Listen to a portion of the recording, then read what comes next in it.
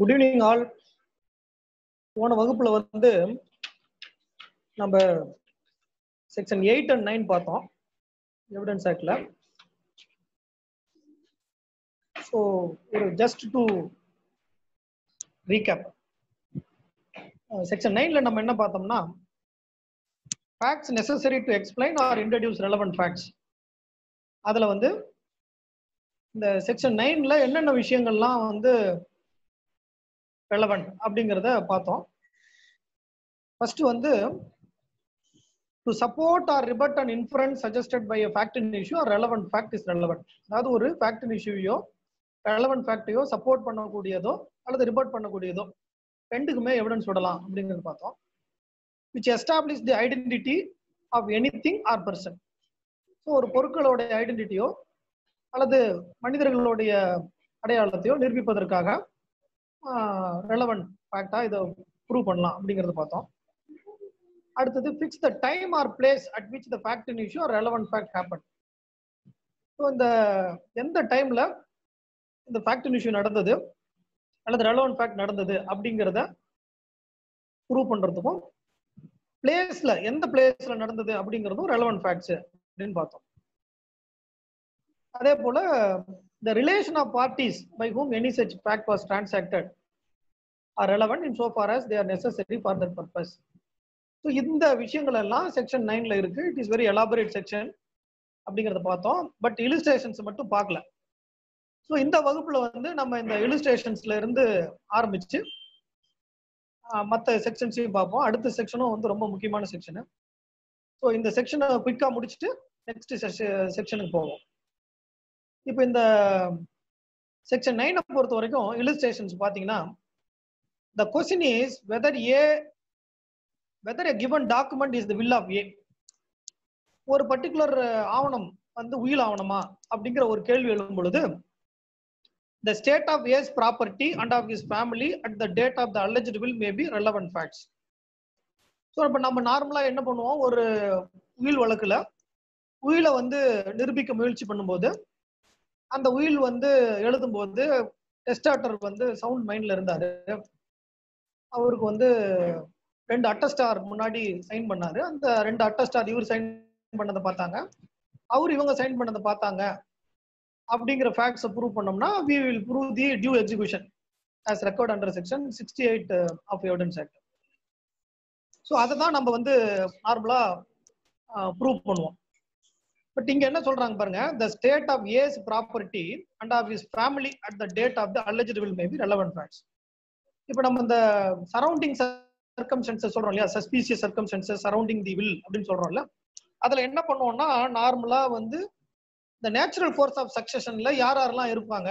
இப்போ வந்து அஞ்சு பசங்க இருக்காங்க அவருக்கு ஒரே ஒரு பையனுக்கு மட்டும் உயிர் எழுதுறாருன்னா அது ஒரு சஸ்பீசியஸ் சர்க்கம்சன்சஸ் நம்ம பேசுவோம். அந்த மாதிரி அவருக்கு என்னென்ன சொத்துக்கள்லாம் இருந்தது? யார் யாரெல்லாம் அவருக்கு வாரிசுகள்? ஏன் அவர் வந்து இந்த உயில வந்து இந்த பர்டிகுலர் நபருக்கு மட்டும் எழுதினாரு? அப்படிங்கிற கேள்விக்கு இந்த சொத்துக்களை எல்லாம் குறித்து சாட்சியமிடலாம். அதே போல இந்த ஃபேமிலி மெம்பர்ஸ் இப்போ ஒருத்தருக்கு வந்து ரெண்டு மனைவிகள் இருப்பாங்க. இரண்டு மனைவிகள் இரண்டு மனைவினா கல்யாணம் பண்ணியிருக்கலாம். அல்லது அபிமான பாரியால் என்று சொல்லக்கூடிய கான்கு பயன் இருக்கலாம். அப்படி கான்கு பையன் இருக்கும்போது முதல் மனைவியோ முதல் மனைவியினுடைய பிள்ளைகளையோ விட்டுட்டு தன்னுடைய கான்கு பையனுக்கு அவர் வந்து எழுதுறாரு அப்படின்னா தட் இஸ் சஸ்பீசியஸ் சர்க்கம்ஸ்டன்சஸ் சொல்றாங்க. ஸோ இந்த மாதிரி ஒரு உயில் வழக்கில் கூட நம்ம வந்து என்ன பண்ணலாம்? அவருடைய ப்ராப்பர்ட்டியினுடைய ஸ்டேட்டஸ் அவருடைய ஃபேமிலியோடைய நிலைமை அதை குறித்து நம்ம சாட்சியம் விடலாம் அது வந்து ரெலவன் ஃபேக்ட்ஸ் அப்படின்னு இந்த செக்ஷன் நைன்ல சொல்றாங்க. ஸோ இதுல தான் நம்ம அந்த சஸ்பீசியஸ் சர்க்கம்ஸ்டன்ஸ் சொல்றோம் இல்லையா? சரௌண்டிங் அரௌண்ட் த வில் அப்படின்னு சொல்றோம் இல்லையா? அந்த இதுக்கான எவிடன்ஸ் நம்ம விடுறோம். அடுத்த இலிஸ்ட்ரேஷன் பாருங்க. A sues B for a libel imputing disgraceful conduct to A B affirms that the matter alleged to be libellous is true The position and relations of the parties at the time when the libel was published may be relevant facts as introductory to the fact in issue. இப்போ வந்து ஒரு defamation case அந்த defamation கேஸ்ல ஒருத்தர் வந்து இன்னொருத்தரை பத்தி மானம் கெடும்படி அதாவது மான நஷ்டமாகும்படி ஒரு சொல் சொல்லிட்டாரு. அப்படிங்கிற மாதிரி ஒரு வழக்கு. அந்த வழக்குல பாத்தீங்கன்னா அவர் என்ன பண்றாரு? பிரதிவாதி வாதி பிரதிவாதியாக இருக்கலாம் அல்லது அரசு தரப்பு எதிரி தரப்பா இருக்கலாம். சிவில் வழக்குலையும் போடலாம். இப்போ டிஃபமேஷனை பொறுத்த வரைக்கும் சிவில் வழக்கும் போடலாம் கிரிமினல் வழக்கும் போடலாம். ஸோ அந்த மாதிரி போடும் பொழுது ட்ரூத் இஸ் அ டிஃபென்ஸ் இந்த டிஃபமேஷன் கேஸ்ல ட்ரூத் இஸ் அ டிஃபென்ஸ் அப்ப கிளைண்ட் இப்ப வந்து இந்த மாதிரி டிஃபமேஷன் வழக்கு போடும்போது டிபெண்டன்ட் என்ன சொல்லுவாரு? நான் வந்து ஒன்றும் மான நஷ்டம் படி சொல்லு மான நஷ்டம் படும் ஆகும்படியாக எதுவும் சொல்லல. உண்மையான விவரங்களை தான் நான் சொன்னேன். அதனால இதை வந்து டிஃபமேஷன்ல வராது அப்படின்னு ஒரு டிஃபென்ஸ் எடுக்கலாம். அதே போல கிரிமினல் வழக்குலையுமே அப்படி ஒரு டிஃபென்ஸை வந்து எதிரி எடுக்கலாம். ஸோ அந்த மாதிரி சூழ்நிலையில the position and relations of the parties யார் இவர் வந்து என்னவா இருக்கார்? இவருக்கு என்ன உண்மையிலே மானம் இருந்ததா? அப்படிங்கிறத நம்ம ப்ரூவ் பண்ணும் முதல்ல. மானம் இருந்தா தானே அப்புறம் மான நஷ்டம். ஸோ அந்த மானம் இருந்தது அப்படின்னு ப்ரூவ் பண்ணுவார் பிளைண்டிஃப் இவருக்கு மானமே இல்லை அப்படின்னு ப்ரூவ் பண்ணுவாரு டிஃபெண்டன்ட் இது வந்து நார்மலா என்ன சொல்லுவாங்கன்னா இருக்கிறதுலயே கஷ்டமான வழக்கு டிஃபமேஷன் வழக்கு அப்படிம்பாங்க. என்ன காரணம்னு கேட்டீங்கன்னா நீங்க வந்து இவரு ஆன் தி அப்ரிகன்ஷன் நம்மளுடைய மானம் வந்து நஷ்டமாயிடுச்சு கௌரவத்துக்கு இழுக்கு வந்துருச்சு. அப்படிங்கிற எண்ணத்துல இவர் வழக்கு போடுவாரு. ஆனா அங்க அந்த வழக்குலயே வந்து இவர் மானம் கெடும்படியாக பல கேள்விகள் கேட்கப்படும். நீங்க வந்து அஹ், அந்த நிலத்தை வந்து ஆக்கிரமிப்பு பண்ணி வச்சிருக்கீங்கல்ல இந்த பொண்ணை வந்து கரெக்ட் பண்ணி வச்சிருக்கிறீங்கல்ல இப்படி எல்லாம் கேள்வி கேட்பாங்க. அப்ப என்னன்னா உனக்கு என்ன இருக்கு? உனக்கு மானம் இருக்கிற அளவுக்கு நீ என்ன பண்ணிட்ட? அதுல என்னத்த நஷ்டமாயி போச்சுங்கிற டிஃபென்ஸ் எடுக்கிறதுக்கு வாய்ப்பு இருக்கும். ஸோ அதனால நார்மலா இந்த மான நஷ்ட வழக்கு போடுறாங்க பாத்தீங்களா? அதெல்லாம் வந்து பெரும்பாலும் தோல்வியில தான் முடியும். அப்படி இல்லைன்னா கூட அந்த இதுலயே இந்த வழக்கு நடக்கும் பொழுதே அவரை வந்து மனம் நொறுங்கும்படி பண்ணுவாங்க. ஏன்னா அந்த அளவுக்கு அவர் இருப்பார் அவருடைய பொசிஷன் இந்த மான நஷ்ட வழக்கு போடுறவங்களுடைய பொசிஷன்லாம் அப்படித்தான் இருக்கும். அந்த பொசிஷன்ஸ் வி கேன் ப்ரூவ் அப்படின்றாங்க. அதே போல ரிலேஷன்ஸ் ஆஃப் த பார்ட்டிஸ் என்ன இப்ப இவனுக்கு அவனுக்கு என்ன தொடர்பு? ஏன் இவன் அவனை வந்து லிபல் லிபல்லஸ் ஸ்டேட்மெண்ட்டோ ஸ்லாண்டரோ ஏன் பண்ணும்? அப்படிங்கிறதுக்காக நம்ம வந்து அந்த ரிலேஷன்ஸையும் ப்ரூவ் பண்ணலாம். இப்போ ஒரு கேஸ் நாங்க ஒரு டிஃபர்மேஷன் கேஸ் நடத்தினோம் நான் வக்கீலா இருந்தபோது. அதுல பாத்தீங்கன்னா அந்த சிஏ சார்ட்டர்ட் அக்கௌண்ட்ஸுக்குலாம் வந்து ஒரு சேர்மன் உண்டு. அதுக்கு ஒரு கவுன்சில் உண்டு. அதுக்கு ஒரு சேர்மன் எலெக்ஷன் நடக்கும். அதுல அந்த சேர்மனா இருக்கக்கூடிய நபர் வந்து இருக்காரு. அவருடைய அசிஸ்டன்ட் ஒருத்தர் இருக்காரு. அவரும் ஒரு சார்ட்டர்ட் அக்கௌண்ட் அவர் என்ன பண்றாரு? இவர்கிட்ட இருந்து பிரிஞ்சு போயிட்டு தனியா ஒரு ஆடிட்டர் ஃபார்ம் நடத்துறாரு. அதுல ஒரு புக்கும் விடுறாரு வெளியிடுறாரு.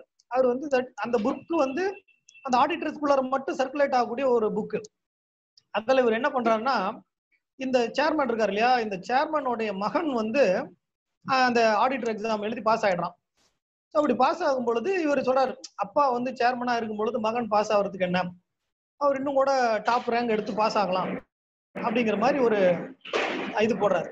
அப்படி போட்ட போது இவர் என்ன பண்றாரு அந்த சேர்மன் வந்து தனக்கு வந்து மான நஷ்டம் ஏற்பட்டதாக கருதி ஒரு வழக்கு போடுறாரு. ஸோ நாங்க தான் போட்டோம் அந்த வழக்கை வாதிக்காக அதை வந்து இன்னைக்கு உய உச்ச நீதிமன்றத்தில் நீதிபதியாக இருக்கின்ற திரு ராமசுப்ரமணியம் அவர்கள் தான் வந்து அப்போ வழக்கறிஞர் அவங்களுக்கு. ஸோ இது என்ன போச்சுன்னா அந்த இதுல எங்க எங்க சாட்சியை வந்து அவர் குறுக்கு விசாரணை பண்ணாரு. அந்த குறுக்கு விசாரணையிலேயே அவன் ஓடி போயிட்டான். அந்த கேஸை வந்து வித்ரா பண்ணிட்டான் அந்த அளவுக்கு அந்த டிஃபமேஷன் வழக்கு வந்தது வந்து ரொம்ப சித்திரமா இருக்கும். ஸோ ஸோ um, அந்த மாதிரி ஒரு லிபரலஸ் ஸ்டேட்மெண்ட் வரும் பொழுது இது வந்து உண்மையாலுமே வந்து அதுல ஃபேக்ட் விஷயம் என்ன? இவர் வந்து சொன்ன விஷயம் அவதூறா இல்லையாங்கிறது தானே. அந்த அவதூறா இல்லையா அப்படின்னு டிசைட் பண்ணக்கூடிய வழக்கில் கூட இன்ட்ரடக்டரி ஃபேக்ட்ஸாக இவருடைய பொசிஷன் என்ன? சொசைட்டில இவருடைய பொசிஷன் என்ன? இவருக்கும் அந்த லிபல் பண்ணக்கூடியவருக்கும் இருக்கக்கூடிய ரிலேஷன்ஷிப் என்ன? ஏன்னா இவருக்கு ஏதாவது இல் மோட்டிவ் இருக்கா? இல்ல அவர் வந்து ஃபேர் கமெண்ட் அப்படி சொல்றாரா? அப்படின்னு பாக்குறதுக்காக இன்ட்ரோடக்டரி ஃபேக்ட்ஸா இது பண்ணலாம் அப்படின்னு அதுக்கு சொல்றாங்க. அதுலயே பாருங்க இன்னொரு பிலயே இன்னொரு இல்லஸ்ட்ரேஷன் சொல்றாங்க. The particulars of a dispute between A and B about a matter unconnected with alleged libel are irrelevant. இப்ப அதுல வேற ஏதாவது டிஸ்பியூட் இருக்குன்னு வச்சுங்களேன் இந்த லிபல் சம்பந்தப்பட்டாத வேற விஷயங்கள் இருக்குன்னா அது irrelevant. அது இதுல வராது. Though the fact that there was a dispute may be relevant it is affected affected the relations between a and அது எதுல ரெலவெண்டா இருக்கும்னா செக்ஷன் எயிட்ல ரெலவெண்டா இருக்கும். நம்ம ஏற்கனவே பார்த்தோம் இல்லையா செக்ஷன் எயிட்ல மோட்டிவ் இஸ் ரெலவெண்ட் இப்போ இவங்க ரெண்டு பேருக்கு இடையில ஒரு வாய்க்கா தகராறு இருக்கு வரப்பு தகராறு இருக்கு அப்படின்னு வச்சுங்களேன். அதுக்காக இவர் இவரை பத்தி மான நஷ்டப்படுபடியாக பேசுறாரு அப்படின்னா அந்த ப்ரீவியஸ் மோட்டிவ் வந்து செக்ஷன் எயிட் கீழே relevant not under section nine so அதுதான் இங்க சொல்றாங்க. ஸோ இது அது வந்து இந்த செக்ஷன் கீழே irrelevant but it is relevant under section eight அடுத்து சி பாருங்க இலஸ்ட்ரேஷன் சி பாருங்க. A is accused of a crime the fact that soon after the commission of the crime A absconded from his house is relevant under section 8 as conduct subsequent to and affected by the fact in issue. The fact that at the time when he left home, he had sudden and urgent business at the place to which he went is relevant as tending to explain the fact that he left home suddenly. So இப்போ பாருங்க இதுல வந்து ரொம்ப அழகா சொல்லியிருக்காங்க பாருங்க. இப்போ நம்ம ஏற்கனவே ஒரு எக்ஸாம்பிள் சொன்னோம் இல்லையா? ஒரு கீழ் வீட்டுல வந்து ஒரு லேண்ட்லார்ட் இருப்பாரு. மேல வந்து டெனண்ட் குடியிருப்பாங்க. மேலே மேல சத்தம் கேட்கும்.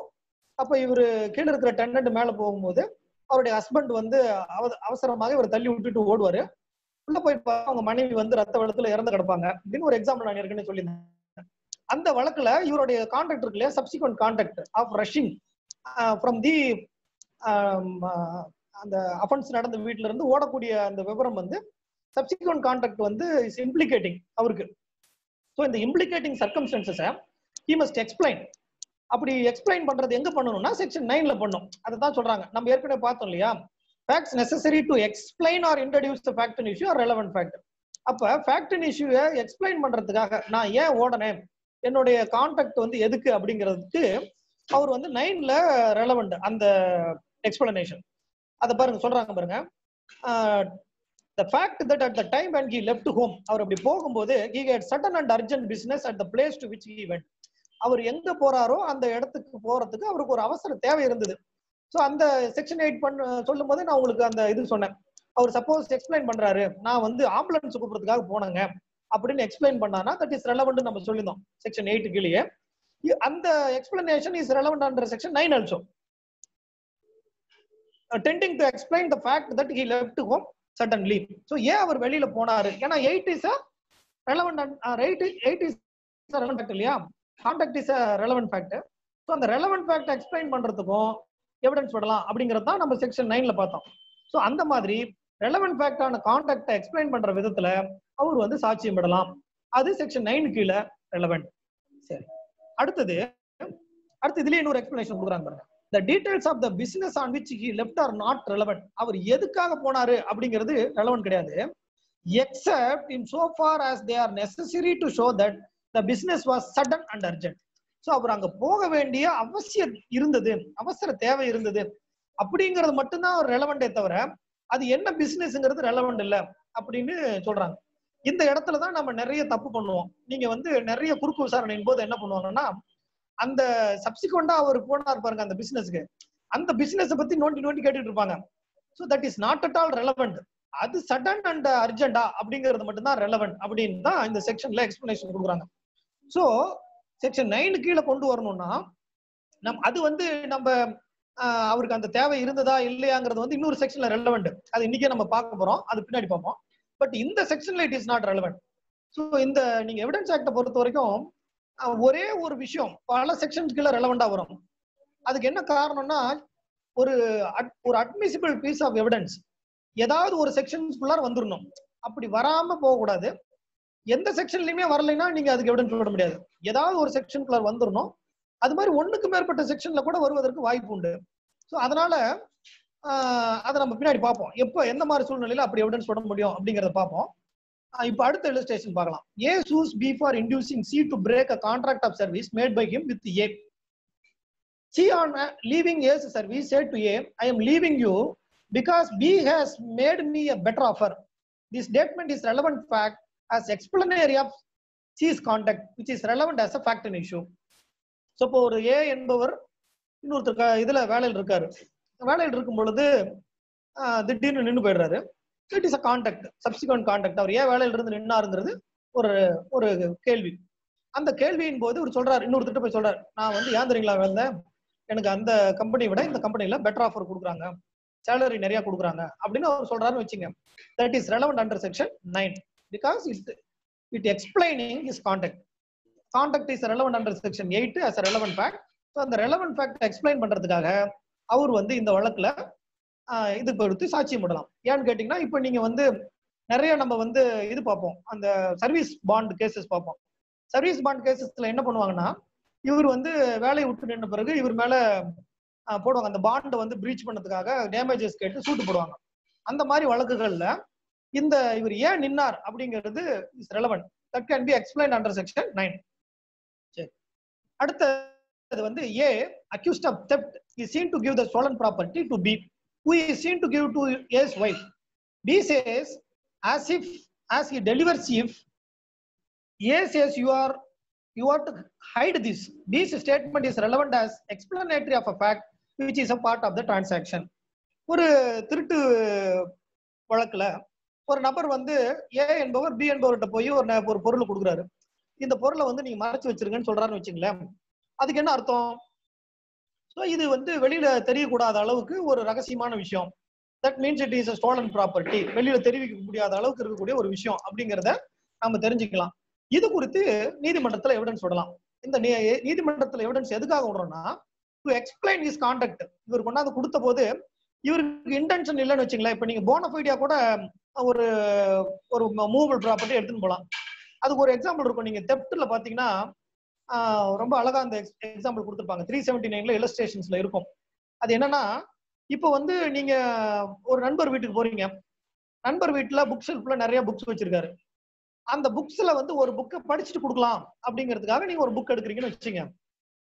அந்த புக்கை எடுத்துட்டு போய் நீங்க வீட்டுல வச்சுக்கிறீங்க. எதுக்காக? நீங்க உங்க நண்பருக்கே தெரியாது. நீங்க புக் எடுத்ததோ எதுவுமே அவருக்கு தெரியாது. ஒரு உரிமையில எடுக்கிறீங்க. நம்ம நண்பர் தானே. அவர் என்ன நம்ம நம்மகிட்ட கோச்சுக்க போறாரு. அப்படின்னு சொல்லிட்டு உரிமையில எடுத்துட்டு போய் நீங்க அஹ், படிக்கிறீங்க. அப்படி படிக்க எடுத்துட்டு போயிட்டு திருப்பி கொடுக்கலன்னு வச்சுங்களேன் அது வந்து தெப்ட் ஆகாது.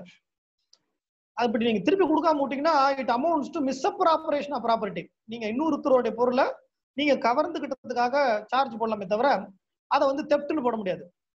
தெப்ட்டுங்கும் போது எப்போ போடணும்னா அவருக்கு எடுக்கும்போது இன்டென்ஷன் இருக்கணும். இவருக்கு தெரியாம இதை எடுத்துட்டு போய் தன்னுடைய எண்ணம் எண்ணம் இருக்கணும். அப்படி இருந்தா தான் தெப்ட் வரும். நீங்க அந்த த்ரீ செவன்டி நைன் இலிஸ்ட்ரேஷன்ல பாத்தீங்கன்னா அதை எக்ஸ்பிளைன் பண்ணிருப்பாங்க.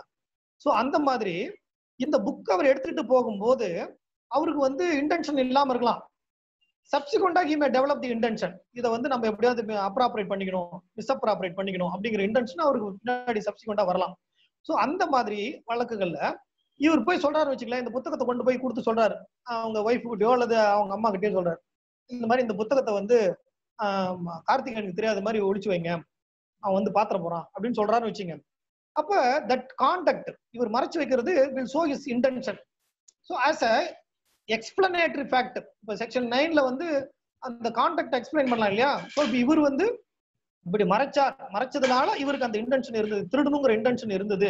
அப்படிங்கிறத ப்ரூவ் பண்ண முடியும். அததான் இந்த எக்ஸ்பிளனேஷன்ல சொல்றாங்க. அடுத்த எக்ஸ்பிளனேஷன் பாருங்க. A is tried for a riot and is prove to have march at the head of a mob the cries of the mob are relevant as explanatory of the nature of the transaction இதை வந்து நம்ம ஏற்கனவே section சிக்ஸ்ல பார்த்தோம். ரெஸ்கஸ்ட் எவிடன்ஸ்ங்கிறதுல பார்த்தோம். இப்போ ஒரு occurrence நடக்கும் பொழுது எல்லாரும் போறாங்க. அப்போ அந்த அந்த அக்கரன்ஸ் நடக்கும்போது போகக்கூடியவர்கள் சொல்லக்கூடிய விஷயங்கள் அதுல பாதிக்கப்படுபவர்கள் சொல்லக்கூடிய விஷயங்கள் வேடிக்கை பார்ப்பவர்கள் சொல்லக்கூடிய விஷயங்கள் எல்லாமே செக்ஷன் சிக்ஸ்ல ரெலவெண்ட் ஆஸ் ரெஸ்கஸ்டே அப்படின்னு சொன்னோம். அதுல இது பாருங்க இதுவுமே வந்து ரெலவெண்ட் என்ன ரெலவெண்ட் அப்படின்னா ஒரு மாவு போறாங்க மாவு போகும்போது கத்திக்கிட்டே போறாங்க. சோன் சோ ஒளிக சோன் சோ ஒளிகன்னு கத்திக்கிட்டே போறாங்கன்னு வச்சுங்களேன் அப்ப என்னன்னா தட் ஷோஸ் தேர் இன்டென்ஷன் எதுக்காக அந்த மாபு வந்து அந்த ப்ராசஸ் எதுக்காக போகுது அப்படிங்கிறத சொ- சொல்லக்கூடிய ஒரு அந்த இன்டென்ஷனை ப்ரூவ் பண்ணக்கூடிய ஒரு விஷயம். ஸோ அதனால அந்த இன்டென்ஷன் இஸ் ரெலவெண்ட் அது பின்னாடி வருது. செக்ஷன் ஃபோர்டீன்ல வரும். அந்த intention is relevant under Evidence Act so அதை எக்ஸ்பிளைன் பண்றதுக்காக the nature of that mob இப்போ நீங்க அதை நம்ம நார்மலா அன்லாஃபுல் அசம்பிளி கேசஸ்ல பார்ப்போம். அப்ப என்ன சொல்லுவோம் நம்ம? இவங்க வந்து இந்த இந்த object of that unlawful assembly when becomes unlawful அப்படின்னு பார்ப்போம். Whether that transaction is unlawful or not whether that members of the assembly aware that this assembly is an unlawful or not அப்படிங்கிறதுக்கு they are uttering the words இல்லையா? சொல்றாங்கல்ல இந்த மாதிரி zone so ஒளிக zone so ஒழிக அப்படின்னு சொல்றது வந்து அந்த அவங்களுடைய அந்த அந்த ஆப்ஜெக்டை காமிக்கக்கூடிய விஷயம். ஸோ அதுக்காக ஆஸ் அன் எக்ஸ்பிளனேட்டரி ஃபேக்ட்ஸ் அவங்க கான்டாக்ட் அந்த மாபு போகக்கூடிய மாபோடைய கான்டாக்டை எக்ஸ்பிளைன் பண்ணக்கூடிய விதமாக செக்ஷன் நைன் கோயில அதுக்கு எவிடன்ஸ் விடலாம். ஸோ இது மாதிரி நீங்க செக்ஷன் நைனோடைய உபயோகம் பாத்தீங்கன்னா அளப்பரியது. நீங்க இந்த எலிஸ்ட்ரேஷன்ஸ் மட்டும் கிடையாது. Illustrations are always illustrative it is not exhaustive இது எல்லா கான்டாக்டையுமே இது சொல்லிடுமா அப்படின்னு பார்த்தா எல்லா கான்டாக்டும் இது சொல்லாது. இலஸ்ட்ரேஷன்ஸ் நமக்கு ஒரு எக்ஸாம்பிள் இந்த மாதிரி எல்லாம் வந்து நீங்க இதுல எவிடன்ஸ் விடலாங்கிறது. ஸோ இது மாதிரி நீங்க ஒவ்வொரு விஷயத்தையும் தனித்தனியாக படித்து வெவ்வேறு ஃபேக்ட் அண்ட் சர்க்கம்ஸ்டன்சஸ்க்கு பொருத்த முடியும்.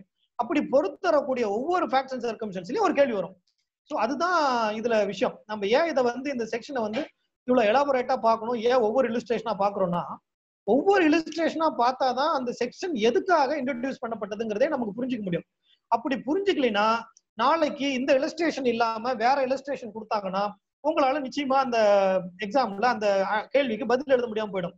ஸோ முதல்ல நீங்க அண்டர்ஸ்டாண்ட் பண்ணிக்கணும். இந்த பேசிக்ஸ் ஆஃப் எவிடன்ஸ் ஆக்டை நீங்க அண்டர்ஸ்டாண்ட் பண்ணிக்கணும். அப்படி அண்டர்ஸ்டாண்ட் பண்ணிக்கிட்டோம்னா இந்த இலஸ்ட்ரேஷன் இல்ல. எந்த இலஸ்ட்ரேஷன் கொடுத்தாலும் உங்களால ஈஸியா ஃபைண்ட் அவுட் பண்ண முடியும். இது வந்து செக்ஷன் நைனுக்குள்ள தான் வரும் அப்படின்னு பண்ண முடியும். ஸோ இப்ப நீங்க இதுல என்னென்ன கேள்விகள் வரலாம் அப்படின்னு பார்த்தோம்னா நம்ம ஏற்கனவே செக்ஷன் எயிட்டுக்கு சொன்ன மாதிரியே செக்ஷன் நைனை பொறுத்த வரைக்கும் the following facts are relevant under section nine அப்படின்னு போட்டு introductory facts explanatory facts to support or rebut the inference identity of the thing and person அப்புறம் place and time of the occurrence அப்புறம் relations of things இப்படி வரிசையாக கேட்கலாம். அதுல ஆட்மேன் out மாதிரி ஒன்றை மட்டும் தப்பா போட்டிருப்பாங்க. இது இந்த வரிசையில நாலுல எது வேணா கேட்கலாம். அதுல ஒண்ணு தப்பா போட்டிருப்பாங்க. அப்படி கேட்கலாம். இப்ப லேட்டஸ்டா வரக்கூடிய கேள்வி பதிவு கேள்வி தாள்கள் எல்லாம் பார்க்கும் பொழுது இப்ப நம்ம யூபிஎஸ்சி எக்ஸாம்ல கேட்கற மாதிரி கேட்கறாங்க. எப்படி கேட்கறாங்கன்னா அசர்சன் அண்ட் ரீசனிங் அப்படின்னு கேட்கறாங்க ஸோ அந்த அசர்சன் அண்ட் ரீசனிங்ல இந்த மாதிரி கேள்வி கேட்கறதுக்கு ரொம்ப வாய்ப்பு இருக்கு. ஏன்னு கேட்டீங்கன்னா இந்த செக்ஷன்ல தான் இவ்வளவு விஷயங்கள் சொல்லியிருக்காங்க. ஸோ அப்ப அசர்சன்ல போட்டுட்டு section nine is relevant to explain a fact in issue but not introducing a fact in issue அப்படின்னு ஒரு ஒரு இது போட்டுட்டு whether the statement is false or true partly false partly true partly true partly false இப்படி wholly true wholly false இப்படி வந்து போடுறதுக்கும் வாய்ப்பு உண்டு. அசர்சன் அண்ட் ரீசனிங் ஸ்டைல்லையும் இதுல வந்து கேள்வி கேட்கறதுக்கு வாய்ப்பு இருக்கு. அது மாதிரி இந்த செக்ஷன்ல வந்து இந்த ஏற்கனவே சொன்னது போல இலஸ்ட்ரேஷன்ஸ்ல இலஸ்ட்ரேஷன்ஸ் இருக்கக்கூடிய ஃபேக்ட்ஸ் அப்படியே கொடுத்து இந்த ஃபேக்ட்ஸ் வந்து நீங்க எந்த பிரிவின் கீழ் ரெலவென்ட் ஃபேக்டா வரும். Whether it is relevant fact if it is relevant fact under which section அப்படிங்கிற மாதிரி உங்களுக்கு வந்து ப்ரிலிமினரி எக்ஸாமினேஷன்லயோ அல்லது மெயின் எக்ஸாம்லயோ கேள்வி வருவதற்கு வாய்ப்பு இருக்கு.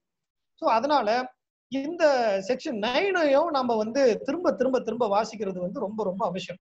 ஸோ அடுத்த செக்ஷன் இன்னும் ரொம்ப ரொம்ப அருமையான செக்ஷன் ஆனா நிறைய பேர் கன்ஃபியூஸ் பண்ணிக்கூடிய செக்ஷன் இந்த செக்ஷன்ஸை வந்து நீங்க தயவு செய்து கொஞ்சம் தெளிவா படிக்கணும்.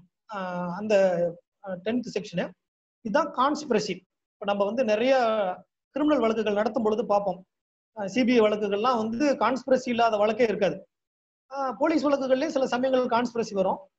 அந்த கான்ஸ்பிரசில நார்மலா என்ன பண்ணுவாங்கன்னா கான்ஸ்பிரசி எப்படி ப்ரூவ் பண்றது அப்படின்னா மூணு விதத்துல கான்ஸ்பிரசி ப்ரூவ் பண்ணலாம். ஒன்னு வந்து conspiracy can be proved through co-accused co-accused வந்து கோர்ட்ல வந்து ஜுடிஷியல் கன்ஃபெஷன் கொடுக்குறாரு.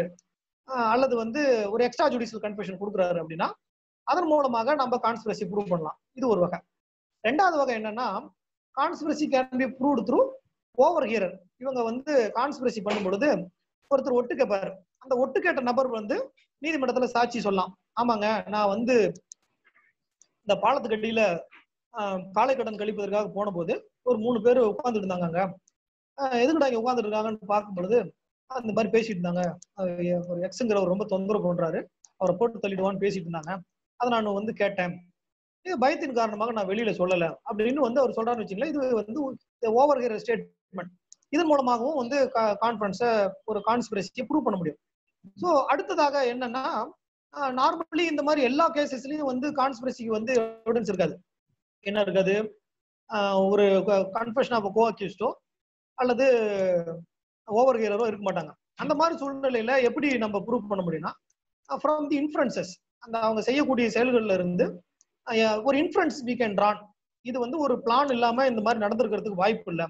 தேர் ஃபோர் இவங்க எல்லாருமே ஒரு கான்ஸ்பிரசி ஹேட்ச் பண்ணியிருந்திருக்கிறதுக்கு வாய்ப்பு இருக்கு அப்படின்னு நம்ம முடிவு வர முடியும். ஸோ அந்த மாதிரி இந்த மூன்று வகையில நம்ம வந்து நார்மலாக நீதிமன்றங்கள்ல கான்ஸ்பிரசி ப்ரூவ் பண்ணுவோம். இப்ப இதுல கான்ஸ்பிரசியை ப்ரூவ் பண்றதுக்கு என்ன பண்ணணும் அப்படிங்கறது இந்த செக்ஷன்ல ரொம்ப அழகா சொல்லியிருக்காங்க. பாருங்க things said or done by conspirator in reference to common design இந்த காமன் டிசைன் அப்படிங்கிறது வந்து நம்ம நிறைய இடங்கள்ல வரும். எப்போ வரும்னா செக்ஷன் தேர்ட்டி ஃபோர்ல நம்ம இதை காமன் இன்டென்ஷன் சொல்லுவோம். செக்ஷன் ஒன் ஃபார்ட்டி நைன்ல காமன் ஆப்ஜெக்ட்னு சொல்லுவோம். கான்ஸ்பிரசில காமன் டிசைன் சொல்லுவோம். ஸோ இது என்னன்னா ஒன்றுக்கும் மேற்பட்ட நபர்கள் செய்யக்கூடிய ஒரு விஷயம். நீங்க தனிப்பட்ட நபர் செஞ்சா அதுக்கு பேரு காமன் டிசைன் கிடையாது. It is individual design so common design ஆகணும்னா there must be more than one at least two so ரெண்டு பேர் இருந்தாதான் ஒரு காமன் டிசைனை உருவாக்க முடியும். ஸோ அந்த காமன் டிசைனை ப்ரூவ் பண்றதுக்காக என்னென்னலாம் சொல்லப்படுகிறதோ என்னென்னலாம் செய்யப்படுகிறதோ அது எல்லாமே ரெலவெண்ட் அண்டர் செக்ஷன் டென் அப்படின்னு சொல்றாங்க.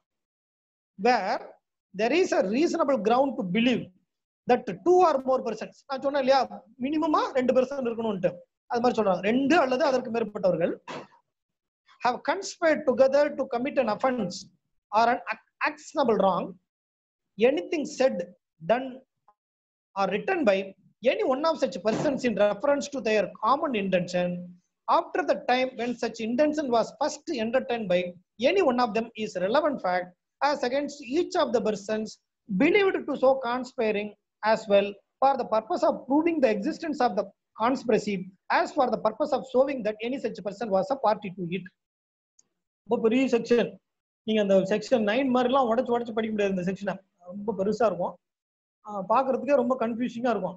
பல சமயங்களில் இதை வந்து நிறைய பேர் கன்ஃபியூஸ் பண்ணிட்டு இருக்காங்க. ஈவன் சம்டைம்ஸ் அப்பக்ஸ் கோர்ட்ல கூட இந்த இந்த செக்ஷன் வந்து மிஸ்ஹேண்டில்டு சரி வர கையாளப்படவில்லை அப்படின்னு நம்ம சொல்லலாம். அதுக்கு என்ன காரணம்னா இதை புரிஞ்சுக்க முடியாததான் ஒரு காரணம். இதுல பாத்தீங்கன்னா என்ன சொல்றாங்கன்னா then there is a reasonable ground to believe முதல்ல அதை பார்த்துக்கணும். There must be reasonable ground to believe what is reasonable ground to பிலீவ்ங்கிறத ஐபிசியில் டிஃபைன் பண்ணியிருப்பான். அதை வந்து நீங்க ஐபிசியில பாத்துங்க. ஸோ அந்த மாதிரி ஒரு விஷயத்த நம்புவதற்கான காரணங்கள் போதுமான காரணங்கள் இருக்கும் பொழுது இரண்டு அல்லது இரண்டுக்கும் மேற்பட்ட நபர்கள் ஒன்றாக சேர்ந்து கூட்டுச்சதி செய்தார்கள் அப்படின்னு நம்புவதற்கான போதுமான காரணங்கள் இருக்கும் பொழுது எனிதிங் செட் அந்த அந்த கான்ஸ்பிரேட்டர் சொல்றாங்க பாத்தீங்களா? ஒருத்தன் இன்னொருத்தன் சொல்றான் பாருங்க. அந்த எனிதிங் செட் டன் அதாவது செய்யறது. Or written by any one of such person in reference to their common intention common intention என்ன? கொலை பண்றது. இப்போ நம்ம சொன்னோம் இல்லையா மூணு பேர் உட்காந்து பேசிட்டு இருந்தாங்க. அந்த உட்காந்து பேசிட்டு இருந்தவன் எக்ஸுங்கிறவரை கொலை செய்யறதுக்காக ஒரு பிளான் போடுறாங்க. அதை ஒருத்தர் ஓவர் ஹியர் பண்றாரு நம்ம சொன்ன பாருங்க. அதுல எனிதிங் செட் இதுல சொல்றாரு பாருங்க ஏங்கிறவர் சொல்றாரு. பா இந்த மாதிரி அவனை போட்டு தள்ளிடலாம்பா. நீங்க வந்து இந்த இடத்துல நில்லுங்க. நான் வந்து இந்த வண்டியில வெப்பன் எடுத்துட்டு வரேன். அவனை வந்து நீ வழிமறி அந்த வெ- இருக்கிற வெப்பனை எடுத்து அவனை போட்டு தள்ளிடலாம்னு சொல்றாங்கன்னு வச்சுங்க திஸ் இஸ் தி பிளான் இதை வந்து அவங்க பேசிக்கிறாங்கன்னா இதை ஒரு கான்ஸ்பிரேட்டர் சொல்றான் பாத்தீங்களா? இந்த கான்ஸ்பிரேஷன் அந்த கான்ஸ்பிரேட்டர் சொல்லக்கூடிய அந்த விஷயம் is relevant or done done என்ன செய்யறது? அந்த கா- அந்த கான்ஸ்பிரசி ஹேட்ச் பண்ண பிறகு இவங்க வந்து போறான். ஒருத்தன் ஏ என்பவர் வந்து போய் ஒரு இடத்துல கத்தி வாங்குறான்னு வச்சுங்க இட் இஸ் ரெலவெண்ட் அந்த கத்தி வந்து இந்த வண்டியில ஏத்துறான்னு வச்சுங்க இட் இஸ் ரெலவெண்ட் இந்த வண்டியை வந்து ஒருத்தன் அந்த எஸ்ஓசியில நிறுத்தி வெயிட் பண்ணிட்டு இருக்கான். இவன் வர்றதுக்காக. யாரு? விட்டி வர்றதுக்காக வெயிட் பண்ணிட்டு இருக்கான் பாருங்க. தட் இஸ் ரெலவன் இந்த மாதிரி done whatever done in furtherance of the conspiracy is relevant or written இது வந்து இப்ப நம்ம வந்து பல சமயங்கள்ல வந்து இது சொல்லணும்னு அவசியம் இல்லை. எழுதி கூட பண்ணலாம். Conspiracy can be hatch by writing நீங்க பழங்காலத்து கேஸ் எல்லாம் பாத்தீங்கன்னா அப்படி இருக்கும். நம்ம ஆஸ் மர்டர் கேஸ்ல பார்க்கலாம். இந்த நீலகண்ட பிரம்மச்சாரி வெசஸ் ஸ்டேட் எம்பரர்னு ஒரு கேஸ் இருக்கு. அந்த கேஸ் என்னன்னா ஆஷ் மர்டர் கேஸ் நீங்க அதுல பாத்தீங்கன்னா வா- வாஞ்சிநாதன் என்ன பண்ணுவான்?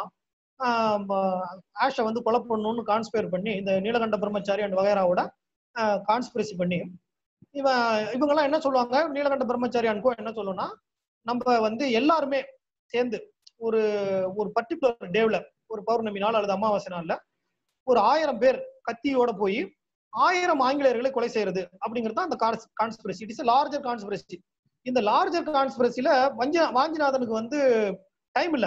அவன் வந்து இவங்க இப்படியே பேசிட்டே இருப்பாங்க. இந்த நீலகண்ட பிரம்மச்சாரெல்லாம் வேஸ்ட் இவர் எதுவுமே பண்ண மாட்டாருன்னு சொல்லிட்டு என்ன பண்றான்? அவசரப்பட்டு கட கடன்னு மணியாச்சு போய் அந்த வாகனம் இந்த ரயில் வந்து நிற்கும் பொழுது உள்ள வந்து ஆஷ் வந்து மர்டர் பண்ணிட்டு ஹி கமிட்டட் சூசைட் ஸோ அந்த கேஸ் பார்த்தீங்கன்னா அபேட் ஆயிடுது. ஏன்னா டிசீஸ் இந்த அக்யூஸ்ட் டைட் இல்லையா?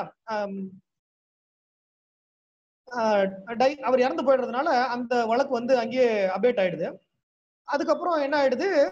இத ப்ரோவ் பண்றாங்க. ஏன் இந்த வாஞ்சிநாதன் வந்து இந்த ஆஷை வந்து கொலை பண்ணா? அப்படின்னு ப்ரோவ் பண்ணும்போது they came to know that there was a larger conspiracy அந்த கான்ஸ்பிரசிக்காக ஒரு வழக்கு நடக்குது.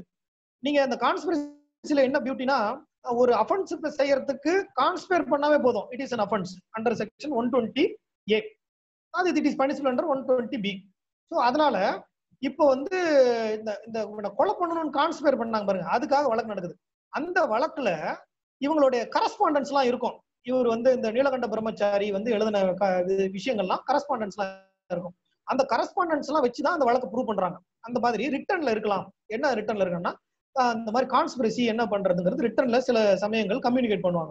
அந்த written so said done or written இது மூணுமே ரெலவெண்ட் எப்ப? அப்படின்னா after the time when such intention was first entertain by any one of them so இதுல யாராவது ஒருத்தருக்கு இந்த காமன் இன்டென்ஷன் முதல்ல என்டர்டைன் ஆயிருக்கணும். இப்போ முதல்ல நான் கான்ஸ்பிரசி பண்றேன்னா எனக்கு இந்த இன்டென்ஷன் வரணும். யாது எக்ஸுங்கிறவரை கொலை செய்யணும் ஒரு இன்டென்ஷன் இருக்கணும். அதுக்கப்புறம் நான் அதை ஷேர் பண்ணுவேன். ஷேர் பண்ண உடனே இது பிகம் அ காமன் இன்டென்ஷன் இந்த காமன் இன்டென்ஷன் டெவலப் ஆன பிறகு ஏற்கனவே நான் பண்ணிட்டேன் பாருங்க. நம்ம காமன் இன்டென்ஷனே வர்றதுக்கு முன்னாடி கூட நான் இப்போ வந்து கத்தி பர்ச்சேஸ் பண்ணலாம். அந்த கத்தி பர்ச்சேஸ் பண்ண பிறகு நான் சொல்லலாம் பாரு நான் கத்தி வாங்கி ஏற்கனவே ரெடியா வச்சிருக்கேன். அப்படின்னு என்னுடைய கோ கான்ஸ்பிரேட்டர்கிட்ட சொல்லலாம் அந்த மாதிரி நான் என்டர்டைன் பண்ணாவே போதும். Any one of any one person entertain பண்ணா கூட போதும். That is relevant under section ten first entertain பண்ணி any one of them is relevant fact as against each of the persons believe to so conspiring யார் யாரெல்லாம் அந்த கான்ஸ்பிரசியில மெம்பரா இருந்தாங்கன்னு நம்ம believe பண்றோமோ அத்தனை பேருக்கு அகேன்ஸ்டாகவும் இந்த சாட்சியத்தை விடலாம். எந்த சாட்சியத்தை? நான் போய் கத்தி வாங்கணும் பாருங்க. அந்த சாட்சியத்தை மற்ற கோ கான்ஸ்பிரேட்டர்ஸ் நான் கத்தி வாங்கின போனப்ப அவன் இல்லாம கூட இருந்திருக்கலாம். இவர் கத்தி வாங்கிட்டு வந்து தெரியாம கூட இருந்திருக்கலாம். ஆனாலும் இந்த கான்ஸ்பிரசில அவர் மெம்பர் ஆன உடனே அவருக்கு அகேன்ஸ்டாக இந்த கத்தி வாங்கினதை ப்ரூவ் பண்ணலாம். ஏன்னா because it is relevant under section ten as well for the purpose of proving the existence of the conspiracy as for the purpose of showing that any such person was party to it. எதுக்கு? I am a party so i have an intention i purchased a knife before entering into the conspiracy. Not at the time of entering into conspiracy. பாருங்க இதுதான் ரொம்ப முக்கியம். இப்போ நம்ம நார்மலா என்ன பண்ணுவோம்? தேர்ட்டி ஃபோர்ல என்ன பண்ணுவோம்? காமன் இன்டென்ஷன் டெவலப் ஆன பிறகு செய்யறது தான் அஃபென்ஸ் இதுல பாருங்க ஒன் ஃபார்ட்டி நைன்ல பாருங்க. காமன் ஆப்ஜெக்ட் டெவலப் பண்ண பிறகு செய்யறது தான் அஃபென்ஸ் இங்க அப்படி இல்ல. நீங்க யாராவது ஒருத்தருக்கு அந்த இன்டென்ஷன் இருந்தா கூட போதும். மத்தவங்களுக்கு அகேன்ஸ்டா இதை ப்ரூவ் பண்ண முடியும் அப்படிங்கிறது தான் இந்த செக்ஷன் ஸோ இதனால தான் இதை எப்படி சொல்றாங்கன்னா இதை வந்து ட்ரெயின் தியரின்னு சொல்லுவாங்க. ஏன் இதை ட்ரெயின் தியரின்னு சொல்றோம்னா conspiracy is like a compartment in many train ஒரு ட்ரெயின்ல வந்து there are there will be many compartments அந்த கம்பார்ட்மெண்ட்ஸ்ல ஏபிசிடி இசட் வரைக்கும் வச்சுங்களா ஏபிசில இருந்து இஜெட் வரைக்கும் இருபத்தாறு கம்பார்ட்மெண்ட் இருக்குன்னா ஒரு கம்பார்ட்மெண்ட்ல ஏங்கிற கம்பார்ட்மெண்ட்ல ஏறினவரை பத்தி இசட்டுங்கிற கம்பார்ட்மெண்ட்ல ஏறினவருக்கு தெரியாம கூட இருக்கலாம் ஆனா if the train reach the destination வச்சுங்க what is the destination the achievement of the common design அது நடந்துட்டா இந்த ஏல இருந்த அபார்ட்மெண்ட்ல இருந்தவர் செஞ்ச விஷயங்கள் சொன்ன விஷயங்கள் எழுதிய விஷயங்கள் வீடு இருந்தவர் சொன்ன விஷயங்கள் எழுதிய விஷயங்கள் நடந்த விஷயங்கள் இது போல இசட் வரைக்கும் இருக்கக்கூடிய விஷயங்கள் எல்லாமே relevant as against other co conspirators அப்படின்னு இந்த செக்ஷன்ல சொல்றாங்க. இதன் அடிப்படையில தான் நம்ம வந்து ராஜீவ் காந்தி கேஸ்ல அந்த பேட்டரி வாங்கினதை கூட ரெலவெண்ட்னு ப்ரூவ் பண்றோம். ப்ரூவ் பண்ணியிருக்கோம். ஸோ இப்போ வந்து இந்த இலிஸ்ட்ரேஷன் பாத்தீங்கன்னா இது உங்களுக்கு தெல்ல தெளிவா புரிஞ்சிடும் பாருங்க. என்ன இலிஸ்ட்ரேஷன் அப்படின்னு பாத்தீங்கன்னா the facts that B procured arms in Europe or the purpose of the conspiracy நான் சொன்ன மாதிரி நம்ம சொன்னோம் இல்லையா ஃபர்ஸ்ட் நம்ம கத்தி வாங்கணும்னு சொன்ன பாருங்க. அது மாதிரி இந்த வழக்குல பிங்கிறவர் என்ன பண்றாரு? யூரோப்ல போய் ஆர்ம்ஸ் வாங்குறாரு. ஆர்ம்ஸ் அண்ட் அம்யூனிஷன் வாங்குறாரு. இது வந்து part of the first conspiracy இது ஒரு பார்ட் எது? பர்ச்சேசிங் தி ஆர்ம்ஸ் ஒன்னு C collected money in Calcutta for a like object C என்ன பண்றாரு? கல்கத்தாவில் பணம் கலெக்ட் பண்றாரு. எதுக்கு பணம் பணம் பண்றாருன்னா இந்த மாதிரி நம்ம வந்து ஒரு ஆர்ம்டு ரிசர்க்ஷன் பண்ண போறோம். அதுக்காக பணம் தேவைப்படுது. இதுக்கு நீங்களாம் பணம் கொடுங்கன்னு பணம் கலெக்ட் பண்றாரு. இது ஒரு பார்ட் மூணாவது part D persuaded persons to join the conspiracy in Bombay இவர் பி என்ன பண்றாரு? மேட்டை மேடைகள்ல பேசுறாரு. மீட்டிங் பேச ரகசிய கூட்டங்கள் போட்டு பேசுறாங்க. இந்த மாதிரி நமக்கு வந்து விஷயங்கள் நடந்து போச்சு. இதை நம்ம விடக்கூடாது. எப்படியாவது இவனை கொலை செய்தாகணும். இந்த எக்ஸுங்கிறவனை கொலை செஞ்சாகணும் அப்படின்னு ஒரு ரகசிய கூட்டம் நடக்குது. அந்த ரகசிய கூட்டம் எங்க நடக்குதுன்னா பாம்பேல நடக்குது. E publish writings advocating the object in view in view at Agra இதுல என்ன பண்றாரு? இவரு ஈங்கிறவர் என்ன பண்றாரு? ஆர்டிகிள் எழுதுறாரு. ஆர்டிக்கல் எழுதி இதுல போடுறாரு. ஆக்ராவில் வரக்கூடிய பத்திரிகைகள்ல போடுறாரு. அந்த காலங்கள்ல பத்திரிகைகள் நடத்திட்டு இருந்தாங்க. யங் இந்தியா அந்த மாதிரி பத்திரிகைகள் நடத்திட்டு இருந்தாங்க. அந்த பத்திரிகையில என்ன பண்ணுவாங்கன்னா இந்த பிரிட்டிஷ் ராஜ்யத்தை வந்து நம்ம மண்ணில இருந்து வெளியேற்றணும் அப்படிங்கிற மாதிரி ஆர்டிகல்லாம் எழுதுவாங்க. அது எதுக்குன்னா அந்த அந்த பிரிட்டிஷ் பிரிட்டிஷ் கிட்ட இருந்து நம்ம சுதந்திரம் அடையணும் அப்படிங்கிறது நம்மளுடைய ஆப்ஜெக்ட் அந்த ஆப்ஜெக்டை அச்சீவ் பண்றதுக்காக அதுக்கான ஒரு பப்ளிக் ஒப்பீனியன் கிரியேட் பண்றதுக்காக ஆர்டிகல் எழுதப்படும். அந்த நம்மளுடைய பார்வையில இது சுதந்திர போராட்டம். இதுவே பிரிட்டிஷ்காரன் பார்வையில இது வந்து என்னது waging war against the government so அவனுடைய பார்வையில தான் நம்ம இந்த செக்ஷனை படிக்கிறோம். நம்ம வந்து இதை தப்பா புரிஞ்சுக்கூடாது. நான் ஏதோ ஃப்ரீடம் ஃபைட்டிங் அகேன்ஸ்டா பேசுறது மாதிரி. இது வந்து இந்த செக்ஷன்ஸ் எல்லாம் இன்ட்ரடியூஸ் பண்ணதனுடைய நோக்கமே என்னன்னா இந்த ஃப்ரீடிங் நம்ம சுதந்திர போராட்டத்தை வந்து நசுக்கணும் அப்படிங்கிறது தான் இதனுடைய மெயின் எய்ம் நீங்க வந்து அந்த காலங்களில் இருந்த வழக்குகள்லாம் பாத்தீங்கன்னா பல வழக்குகள் இந்த சுதந்திர போராட்ட தியாகிகள் மீது போட்ட வழக்குகளாக தான் இருக்கும். அதனால இப்படி எழுதுறாரு பாருங்க ஒரு ஆர்டிகல் எழுதுறாரு பாருங்க.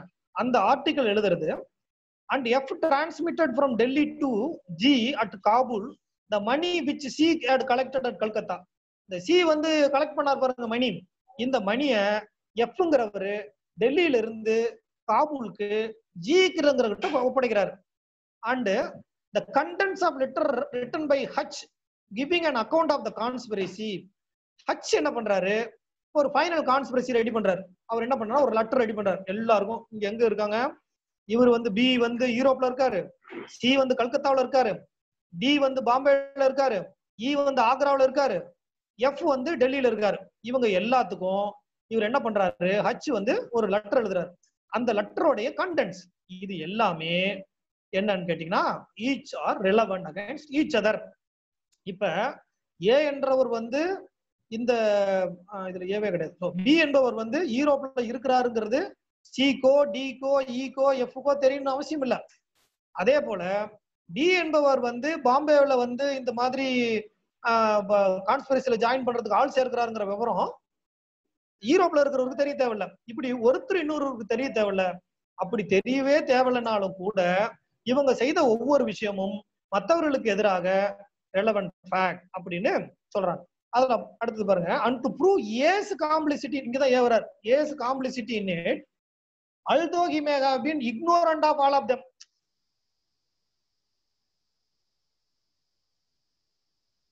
By whom they were done were strangers to him. இவங்க எல்லாருமே ஸ்ட்ரேஞ்சரா இருந்தாங்க place before he join the conference or after he left it அவர் அந்த கான்ஃபரன்ஸ்ல ஜாயின் பண்றதுக்கு முன்னாடியோ அல்லது போனதுக்கு பின்னாடியோ நடந்திருந்தாலும் கூட இஸ் ரெலவென்ட் ஸோ இதுதான் நம்ம என்ன சொல்றோம்? ஒரு ட்ரெயின் வந்து சேலத்துல இருந்து சென்னைக்கு போகுதுன்னா அந்த ட்ரெயின்ல ஏழுல இருந்து இசட் வரைக்கும் இருக்கக்கூடிய கம்பார்ட்மெண்ட்ல எத்தனையோ பேர் இருக்கலாம். அந்த கான்ஸ்பிரசில இருக்கக்கூடியவங்க ஒருத்தர் இன்னொருத்தருக்கு தெரியணும்னு அவசியம் இல்லை. ஒருத்தர் சேலத்துல ஏறிட்டு ஜோலார்பேட்டையில இறங்கிடலாம். ஒருத்தர் ஜோலார்பேட்டையில ஏறிட்டு காட்பாடியில இறங்கிடலாம். ஒருத்தர் காட்பாடியில ஏறிட்டு சென்னையில இறங்கிடலாம். இருந்தாலும் கூட இவர்கள் எல்லாம் இன்னொருவர்களுக்கு தெரியலனா கூட இவங்க எல்லாருமே கான்ஸ்பிரசி பண்ணாங்கிறது ப்ரூவ் பண்றதுக்காக இந்த ஈச் அண்ட் எவ்ரி ஃபேக்ட் ஒவ்வொருத்தர் செஞ்சதையும் நீங்க நிச்சயமாக செக்ஷன் டென் கீழே ப்ரூவ் பண்ணலாம். சப்போஸ் இந்த செக்ஷன் டென் மட்டும் இல்லைன்னு வச்சுங்களேன் நீங்க ஜஸ்ட் லைக் தட் இந்த ஒவ்வொரு ஃபேக்டையும் ப்ரூவ் பண்ணீங்கன்னா நிச்சயமாக உங்களால இந்த கிரைமை ப்ரூவ் பண்ணவே முடியாது. ஏன்னு கேட்டீங்கன்னா conspiracy is always hatch in சீக்ரஸிமாங்க conspiracy என்ன பண்ணுவான்? பத்து பேர் தெரியும் மேடை போட்டா பண்ணுவான். ஒரு ஒரு ஒரு ரகசிய கூட்டங்கள்ல தான் இந்த மாதிரி கான்ஸ்பிரசி எல்லாம் பண்ணப்படும். அப்படி கான்ஸ்பிரசி பண்றத எப்படி ப்ரூவ் பண்ணுவோம் சொல்லுங்க? ப்ரூவ் பண்றதுக்கு வாய்ப்பே எல்லாம் போயிடும். ஸோ இந்த மாதிரி தனித்தனியா இண்டிவிஜுவலா பண்ணிருக்கிறது பாத்தீங்கன்னா அது லாஃபுல்லா கூட இருக்கும். இப்போ வந்து இப்போ நீங்க இப்ப பாக்குறதுக்கு ஒரு இன்கிரிமினேட்டிங்கா தெரியலாம். ஒருத்தர் மணி கலெக்ட் பண்றான்னு வச்சுங்களேன் அதை மட்டும் ஒருத்தர் ப்ரூவ் பண்றாங்கன்னு வச்சுங்க இவர் வந்து எல்லாத்தையும் மணி கலெக்ட் பண்ணாருங்க. அப்படின்னு சொன்னா இந்த மணி இந்த இவர் மூலமாக ஜி மூலமாக காபூலுக்கு போணுச்சு அப்படிங்கறத ப்ரூவ் பண்ணாத வகையில ப்ரூவ் பண்ண முடியாம போயிடுச்சுன்னா நிச்சயமாக இந்த மணி கலெக்ட் பண்ணது is not an unlawful act அவர் வெளியில போயிடுவாரு. ஸோ அதனாலதான் கான்ஸ்பிரசில என்ன பண்றாங்க? Whether it happens before you enter into the conspiracy or it happens after the conspiracy after he left from the conspiracy everything is relevant under section ten so அது மாதிரி இதை வந்து நார்மலா ட்ரெயின் தேரியில வந்து எக்ஸ்பிளைன் பண்ணுவாங்க. இப்போ லேட்டஸ்டா வந்து இந்த தவசி அந்த வழக்குல வந்து ஜஸ்டிஸ் பி என் பிரகாஷ் வந்து என்ன பண்ணிருக்காருன்னா இதை வந்து ஒரு ட்ரீயா ஊமப்படுத்திருக்காரு. நீங்க ஒரு மரத்துல ஸ்டெம்மு பிரான்ச்சஸ் லீவ்ஸ் அப்படின்னு பண்ணிருக்காரு. ஸோ அதுல வந்து அந்த லீவ்ஸ் லெஃப்ட் ஆனாலும் அந்த இது பிரான்ச் செவரானா கூட இட் வில் கான்ஸ்டியூட் கான்ஸ்பிரசி அப்படிங்கறத அந்த இதுல எடுத்திருக்காங்க. ஸோ இந்த கான்ஸ்பிரசி பத்தி தெரிஞ்சுக்கணும்னா அந்த ஜட்மெண்ட் நீங்க தவசி judgment very useful to you அவர் வந்து ரொம்ப பியூட்டிஃபுல்லா எழுதியிருக்காரு அந்த ஜட்மெண்ட்டை ரிகார்டிங் கான்ஸ்பிரசி ஸோ அந்த கான்ஸ்பிரசியை வந்து நம்ம புரிஞ்சுக்கணும்னா இந்த விஷயங்கள் வந்து நிச்சயமாக செக்ஷன் டென் இஸ் ரெலவெண்ட் இதுல இன்னொரு விஷயம் நம்ம தெரிஞ்சுக்க வேண்டியது என்னன்னா செக்ஷன் டென்னை பொறுத்த வரைக்கும் நம்ம எல்லாரும் என்ன நினைக்கிறோம் அப்படின்னா கான்ஸ்பிரசினா ஏதோ கிரிமினல் விஷயம் அதுக்கும் சிவில் கேஸுக்கும் சம்பந்தம் இல்லை அப்படின்னு நம்ம நினைக்கிறோம். இதுல செக்ஷன் டென்னுக்கு என்ன ரெலவன்ஸ் இருக்கு சிவில் கேஸ்ல அப்படின்னு நம்ம நினைக்கிறோம். சம்டைம் சிவில் கான்ஸ்பிரசி கூட உண்டு. அப்ப சிவில் கான்ஸ்பிரசி வந்து பனிஷபிளா அப்படின்னா it is not punishable but it can be proved இந்த civil conspiracy can be proved அதை வந்து இப்ப நீங்க எங்க இருக்கு அப்படின்னு பாத்தீங்கன்னா பாருங்க இந்த செக்ஷன் டென்லயே சொல்றாங்க. Where there is a reasonable ground to believe that two or more persons have conspired together to commit an offence or an actionable wrong actionable ராங்னா என்ன? Actionable wrong is civil wrong so civil wrong கேசஸ்ல tortious கேசஸ்ல கூட you can prove the conspiracy அப்படிங்கிறது தான் இந்த செக்ஷன்ல சொல்றாங்க. So even in a civil case when there are civil wrong civil wrong வந்து sometimes even defamation கூட is called as civil wrong so அந்த மாதிரி வழக்குகள்ல கூட செக்ஷன் டென்னை வந்து நம்ம நிச்சயமாக எய்டுக்கு எடுத்துக்கலாம். To prove that conspiracy behind it இப்போ ஒருத்தருடைய ஒரு அழகான ஒரு ஊமை இருக்கு. அதை சொன்னா உங்களுக்கு இதை ஈஸியா புரிஞ்சுக்க முடியும். என்னன்னா ஒரு நண்பர் ஒருத்தர் இருப்பாரு. ரொம்ப பெஸ்ட் பெர்ஃபார்மர் நல்லா பண்ணக்கூடியவர். அவரை வந்து இவங்க டிமாரலைஸ் பண்ணணும்னு ஒரு நாலு பேர் முடிவு பண்ணுவாங்க. அவர் வந்து ஒரு போட்டியில கலந்துக்கிறதுக்காக இருப்பாரு. அந்த போட்டியில கலந்துக்கிறதுக்கு முன்னாடி இவர் டிமாரலைஸ் பண்ணணும்னு இவங்க நாலு பேரும் முடிவு பண்ணுவாங்க. ஸோ அவர் போகும்போது இவங்க என்ன பண்ணுவாங்க? அவர் அன்னைக்கு போட்டிக்கு போகும்போது காலையில ஒரு ஏ என்பது அவர்கிட்ட சொல்ல மாட்டாங்க. ஏ என்ன பண்ணுவாருன்னா காலையில அவர்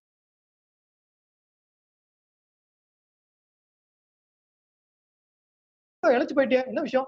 நல்லா சாப்பிடுவா உடம்பு பாத்துக்குவா அப்படின்னு சொல்லிட்டு போயிடுவாரு. அடுத்ததா இவரு புறப்பட்டு போகும்போது பிங்கிறவர் என்ன பண்ணுவாரு? அவரை ஒரு இதுல பார்த்து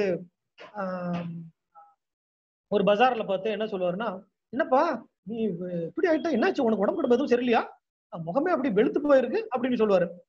அதுக்கு அடுத்தது இவர் வந்து பஸ் ஏறி பஸ்ல போகும்போது சி என்ன பண்ணுவாரு? என்னப்பா இப்படி எல்லாம் வேர்த்து வலியுது உடம்புல? உனக்கு ஏதோ பெரிய பிரச்சனை இருக்கு அப்படின்னு சொல்லுவாரு. அதுக்கப்புறம் டி என்ன பண்ணுவாரு அப்படின்னு பாத்தீங்கன்னா அவர் அந்த காம்படிஷனுக்கு போற இடத்துல வந்து என்னமோ தெரிலப்பா இன்னைக்கு என்னமோ காலையில இருந்து ஒரே அபசகனமா நடக்குது. உனக்கும் அப்படித்தான் நடந்திருக்கும்னு நினைக்கிறேன்.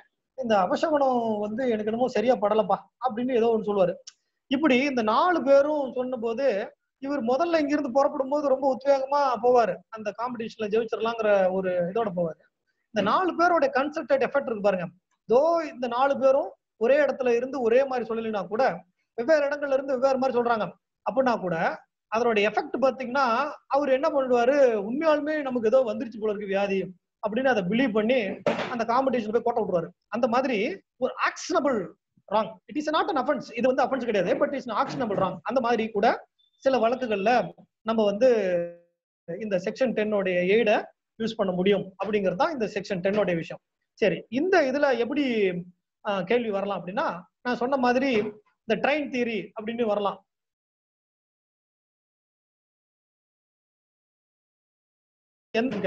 அல்லது ட்ரீ ட்ரீ தியரின்னு சொல்லலாம். ஏன்னா இப்போ இவரு since invented new theory tree தியரின்னு கூட கேட்கலாம். அப்படி இல்லைன்னா இந்த வரிசை இந்த விஷயங்கள் இருக்கு இல்லையா? செட் டன் ரிட்டன் இந்த மூணு.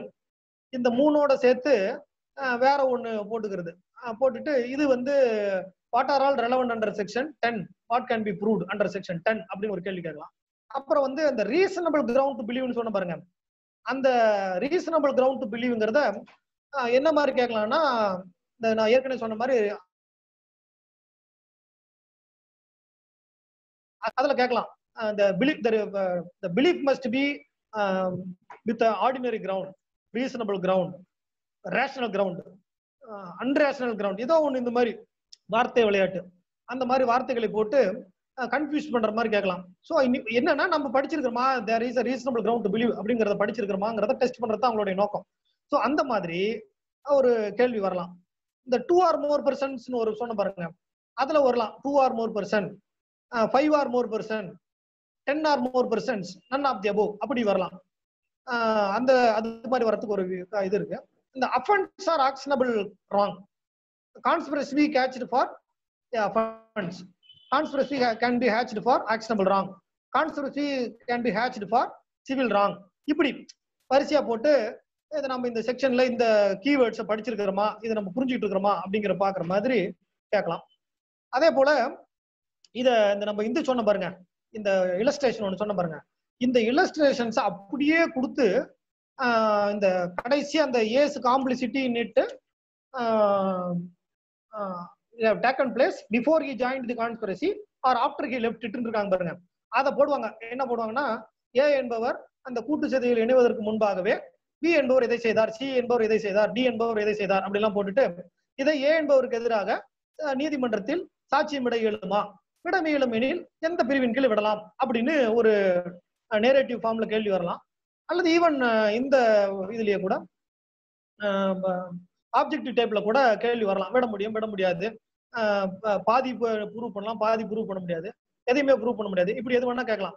ஸோ இது மாதிரி இந்த செக்ஷனும் also very very important section for examination point of view so அதனால இதை இந்த செக்ஷனையும் நீங்க ஏன்னா இருக்கிறதுலே கொஞ்சம் டஃப்பான செக்ஷன் நான் ஃபீல் பண்றது இதுதான். மற்ற செக்ஷன்ஸை விட இது ரொம்ப கொஞ்சம் புரிஞ்சுக்கிறதுக்கு கஷ்டமா இருக்கும்.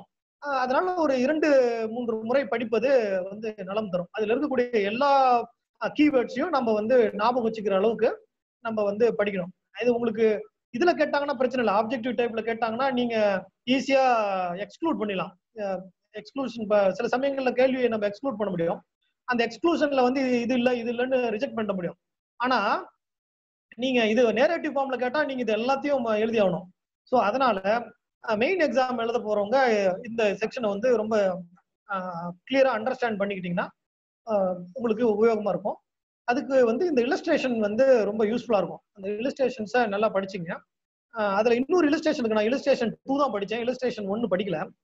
அதுக்கு என்ன காரணம் இலஸ்ட்ரேஷன் ஒன்றும் இல்லை. அது என்னன்னா reasonable ground exist for believing that A has joined in conspiracy to wage war against government of India அப்படிங்கிறத மட்டும் சொல்றாங்க. ஒருத்தர் வந்து அதுல வந்து நம்ம பிரிட்டிஷ் இந்தியான் இருந்தது. இப்போ கவர்மெண்ட் ஆஃப் இந்தியான்னு மாத்திருக்காங்க. அது என்னன்னா அந்த ரீசனபிள் கிரவுண்ட்னா என்ன அப்படிங்கிறது தான். அதுதான் நான் சொன்ன ஏற்கனவே ஐபிசியில் இருக்கு. வாட் இஸ் ரீசனபிள் கிரவுண்ட் அப்படிங்கிறது இருக்கு. ரீசனபிள் கிரவுண்ட் பிலீவ்னா என்னங்கிறத ஐபிசியில் டிஃபைன் பண்ணியிருக்காங்க. ஸோ அதை ஐபிசியில் பாருங்க.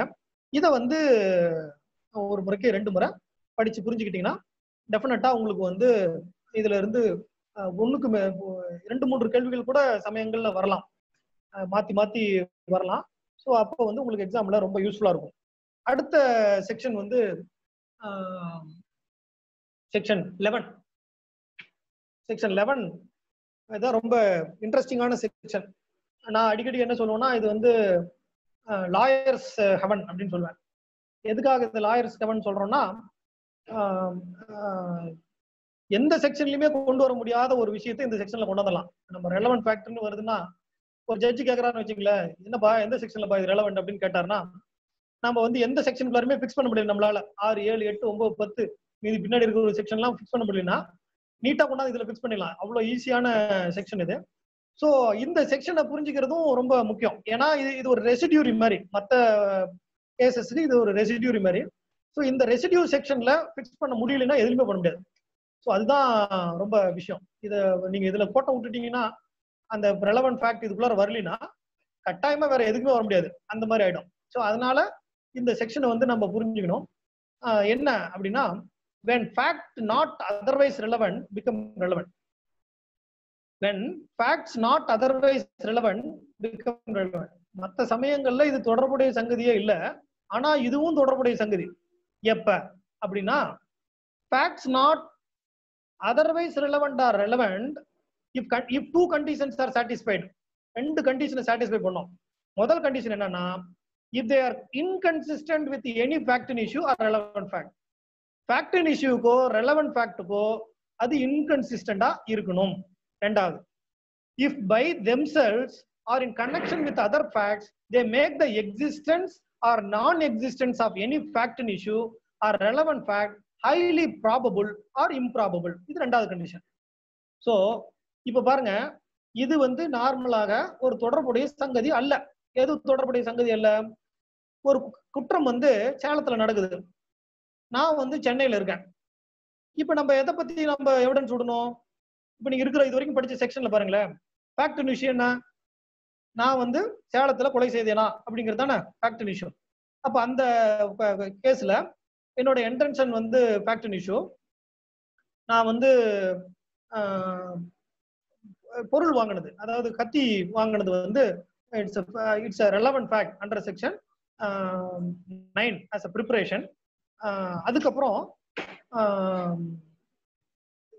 இந்த இடத்துக்கு போறது ப்ரிப்பரேஷன் அந்த இடத்துல ஏற்படக்கூடிய காஸ் அண்ட் எஃபெக்ட் இது வந்து எல்லாம் இதெல்லாம் ரெலவெண்ட் இது வரைக்கும் நம்ம பார்த்த செக்ஷன்ல எல்லாத்துலயும் வந்துடும் section six seven eight nine டென்ல வந்துடும் இப்ப அந்த சம்பவம் நடந்த சமயத்துல நான் சென்னையில இருக்கேன்னு வச்சுங்க. அது வந்து இந்த சேலத்துல கொலை நடந்ததாங்கிறதுக்கு வந்து சென்னையில நான் இருந்தேன் அப்படின்னு சொல்றது எப்படி பதிலாகும்? அது பதிலாகாது இல்லையா? நிச்சயமா பதிலாகாது. நீ சேலத்துல இருந்தியா இல்லையாங்கிறதான் ஃபேக்டரி விஷயமே தவிர நீ சென்னையில இருந்தியாங்கிறது இட்ஸ் நாட் அ ஃபேக்ட் விஷயம் ஸோ அப்ப இது அது ரெலவெண்டா இருக்குமா? நான் சென்னையில அந்த சமயத்துல இருந்தேங்கிறது ரெலவெண்டா அதை நான் ப்ரூவ் பண்ண முடியுமான்னா ப்ரூவ் பண்ண முடியும். எப்பன்னா it must be inconsistent with any factor issue relevant factor என்ன இன்கன்சிஸ்டன்சிங்க இப்ப நான் சேலத்துல கொலை செய்தேங்கிறது வழக்கு. அப்ப நான் சேலத்துல இருக்கணும் இல்லையா? இப்ப நான் சென்னையில இருந்தேன்னா இந்த சம்பவம் நடந்த சமயத்துல நான் சென்னையில இருந்தேன்னா நிச்சயமான சேலத்துல இருந்திருக்க முடியாது. ஸோ இப்போ நான் சேலத்துல இருந்தேன்ற ப்ராசிக்யூஷனுடைய ப்ராசிக்யூஷன் வழக்க வழக்குக்கு இன்கன்சிஸ்டண்டா நான் ஒரு சாட்சி விடுறேன். என்ன விடுறேன்? நான் வந்து சேலத்துல இல்ல சென்னையில இருந்தேன்னு சாட்சி விடுறேன். அப்ப இந்த இன்கன்சிஸ்டன்சி ப்ரூவ் ஆயிடுச்சுன்னா ப்ராசிக்யூஷன் கேஸ் ஓட்ட வந்துடும் ஸோ அதனால if it is inconsistent with the fact in issue or relevant fact அப்ப என்ன பண்ணலாம்? It can be proved relevant fact என்ன? நம்ம சொன்ன மாதிரி ப்ரிப்பரேஷன் மோட்டிவ் ரிலேஷன்ஷிப் இதெல்லாம் சொல்றோம் இல்லையா? இது எல்லாத்துக்கும் இதெல்லாம் relevant fact under various provisions இந்த ரெலவெண்ட் ஃபேக்ட்டுக்கும் இன்கன்சிஸ்டண்டா இருக்குன்னு வச்சுங்க. இப்போ மோட்டிவ் இருக்கு. நான் வந்து இவரை கொலை செஞ்சோம்னா எனக்கு பணம் வரணும் அப்படிங்கிற மாதிரி ஒரு மோட்டிவ் இருக்குன்னு வச்சுங்க. அந்த மோட்டிவ்க்கு இன்கன்சிஸ்டண்டா என்கிட்ட எவிடன்ஸ் இருக்கு. இந்த மாதிரி மோட்டிவ் எனக்கு இருக்கிறதுக்கு வாய்ப்பே இல்லை.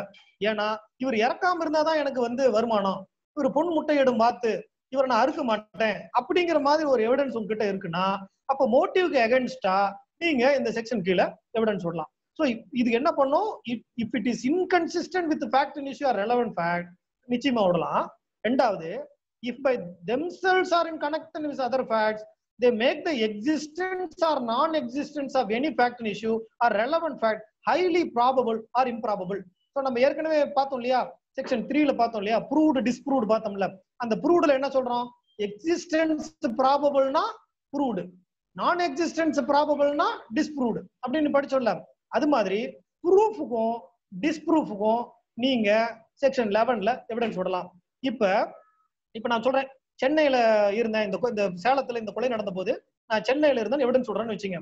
நான் சென்னையில் இருந்ததாக சொல்லக்கூடிய அந்த சாட்சியம் மோர் ப்ராபபிளி ராங் நான் சென்னையிலேயே இல்லை. ஆனா சென்னையில இருந்த மாதிரியான ஒரு தோற்றத்தை ஏற்படுத்துறேன். அப்படிங்கிற மாதிரி எவிடன்ஸ் விடலாம் ப்ராசிக்யூஷன் தரப்புல. சோ அதுக்கு அதுவும் இந்த செக்ஷன்ல விடலாம். எதுக்கு? To prove the existence probable அதே போல நான் சென்னையில இருந்தேன் இதுதான் ப்ராபபிள் அப்படிங்கிறத ப்ரூவ் பண்றதுக்கும் நான் எவிடன்ஸ் விடலாம். அது non existence so existence non existence ரெண்டுக்குமே இந்த செக்ஷன் லெவன் கீழே எவிடன்ஸ் விட முடியும். ஸோ அப்படி எவிடன்ஸ் விடும் பொழுது கோர்ட் என்ன பண்ணுவாங்க? If the X inconsistency is proved and it is proved that it is highly improbable then court will consider that the fact is disproved so இந்த செக்ஷனோட மெயின் பர்பஸ் என்னன்னா டிஸ்ப்ரூவிங் ஃபேக்ட் நீ proving ஃபேக்ட்டுக்கும் இருக்கு இதுல. இருந்தாலும் இதை டிஸ்ப்ரூவ் பண்றதுக்கு தான் நம்ம அதிகமா யூஸ் பண்றோம். இதை தான் நம்ம வந்து என்ன பண்ணுவோம்னா கிரிமினல் வழக்குகள்ல அலிபி அலிபின்னு சொல்லுவோம். இந்த அழிபி வந்து கிரிமினல் வழக்குல மட்டும் இல்ல சிவில் வழக்குகளையும் பண்ணலாம். எப்படின்னு கேட்டீங்கன்னா இப்போ ஒரு ப்ரோ ஒரு பர்டிகுலர் டேட்ல வந்து எக்ஸிக்யூட் பண்றாங்கன்னு வச்சுங்களேன். இருபத்தி நாலு பன்னிரெண்டு ரெண்டாயிரத்தி பத்தொன்பது அன்னைக்கு ஏ என்பவர் எங்க வீட்டுல வச்சு இந்த ப்ரோ நோட் எழுதி கொடுத்தாருன்னு சொல்றோம். அன்னைக்கு இவர் வந்து ஃபாரின்ல இருக்காருன்னு வச்சுங்க. அவர்கிட்ட வந்து இது இருக்கு. பாஸ்போர்ட்ல என்ட்ரி இருக்கு. அவர் ஃபாரின்ல இருந்தாருங்கிறதுக்கு என்ட்ரி இருக்குன்னா தென் இட் இஸ் இன்கன்சிஸ்டன்சி என்ன இன்கன்சிஸ்டன்சி அந்த ஃபேக்டர் விஷயம்னா இவர் அன்னைக்கு தேதியில ஒரு ப்ரோ நோட் எழுதினாராங்கிறதான ஃபேக்ட் இஷ்யூ அந்த ஃபேக்டர் இஷ்யூக்கு அந்த தேதியில அவர் அந்த ஊரிலேயே இல்லை என்பது இன்கன்சிஸ்டன்சி ஸோ அப்ப இந்த ஃபேக்டர் இஷ்யூ அடி வாங்கணும் அதனால அப்படி சிவில் வழக்குகள்லயும் அந்த மாதிரி அழிவு எவிடன்ஸ் விட முடியும். ஸோ இந்த அழிவு எவிடன்ஸை பொறுத்த வரைக்கும் யா அதை நான் ஏற்கனவே சொன்னேன் இல்லையா? இது டிஸ்ப்ரூவிங் தான் பயன்படுத்த முடியும்னு. அதனால நீங்க அழிவு எடுத்தீங்கன்னா நீங்க தான் ப்ரூவ் பண்ணும் அதனால அழிவு எடுக்கும்போது ரொம்ப கேர்ஃபுல்லா எடுக்கணும். வழக்குகள் நடத்தும் பொழுது சும்மா தமாசுக்கெல்லாம் போய் அழிவு எடுக்கக்கூடாது. அழிவு எடுத்துட்டீங்கன்னா நீங்க வந்து அதை ப்ரூவ் பண்ண வேண்டிய சூழ்நிலைக்கு போயிடுவீங்க. ப்ராசிக்யூஷனை பொறுத்த வரைக்கும் prosecution has to prove all the facts including the fact that you you are in Salem அந்த ப- அந்த குற்றம் நடந்த போது சேலத்தில் நீங்க இருந்தீங்கங்கிறதையும் ப்ரூவ் பண்ண வேண்டியது ப்ராசிக்யூஷனோட வேலை.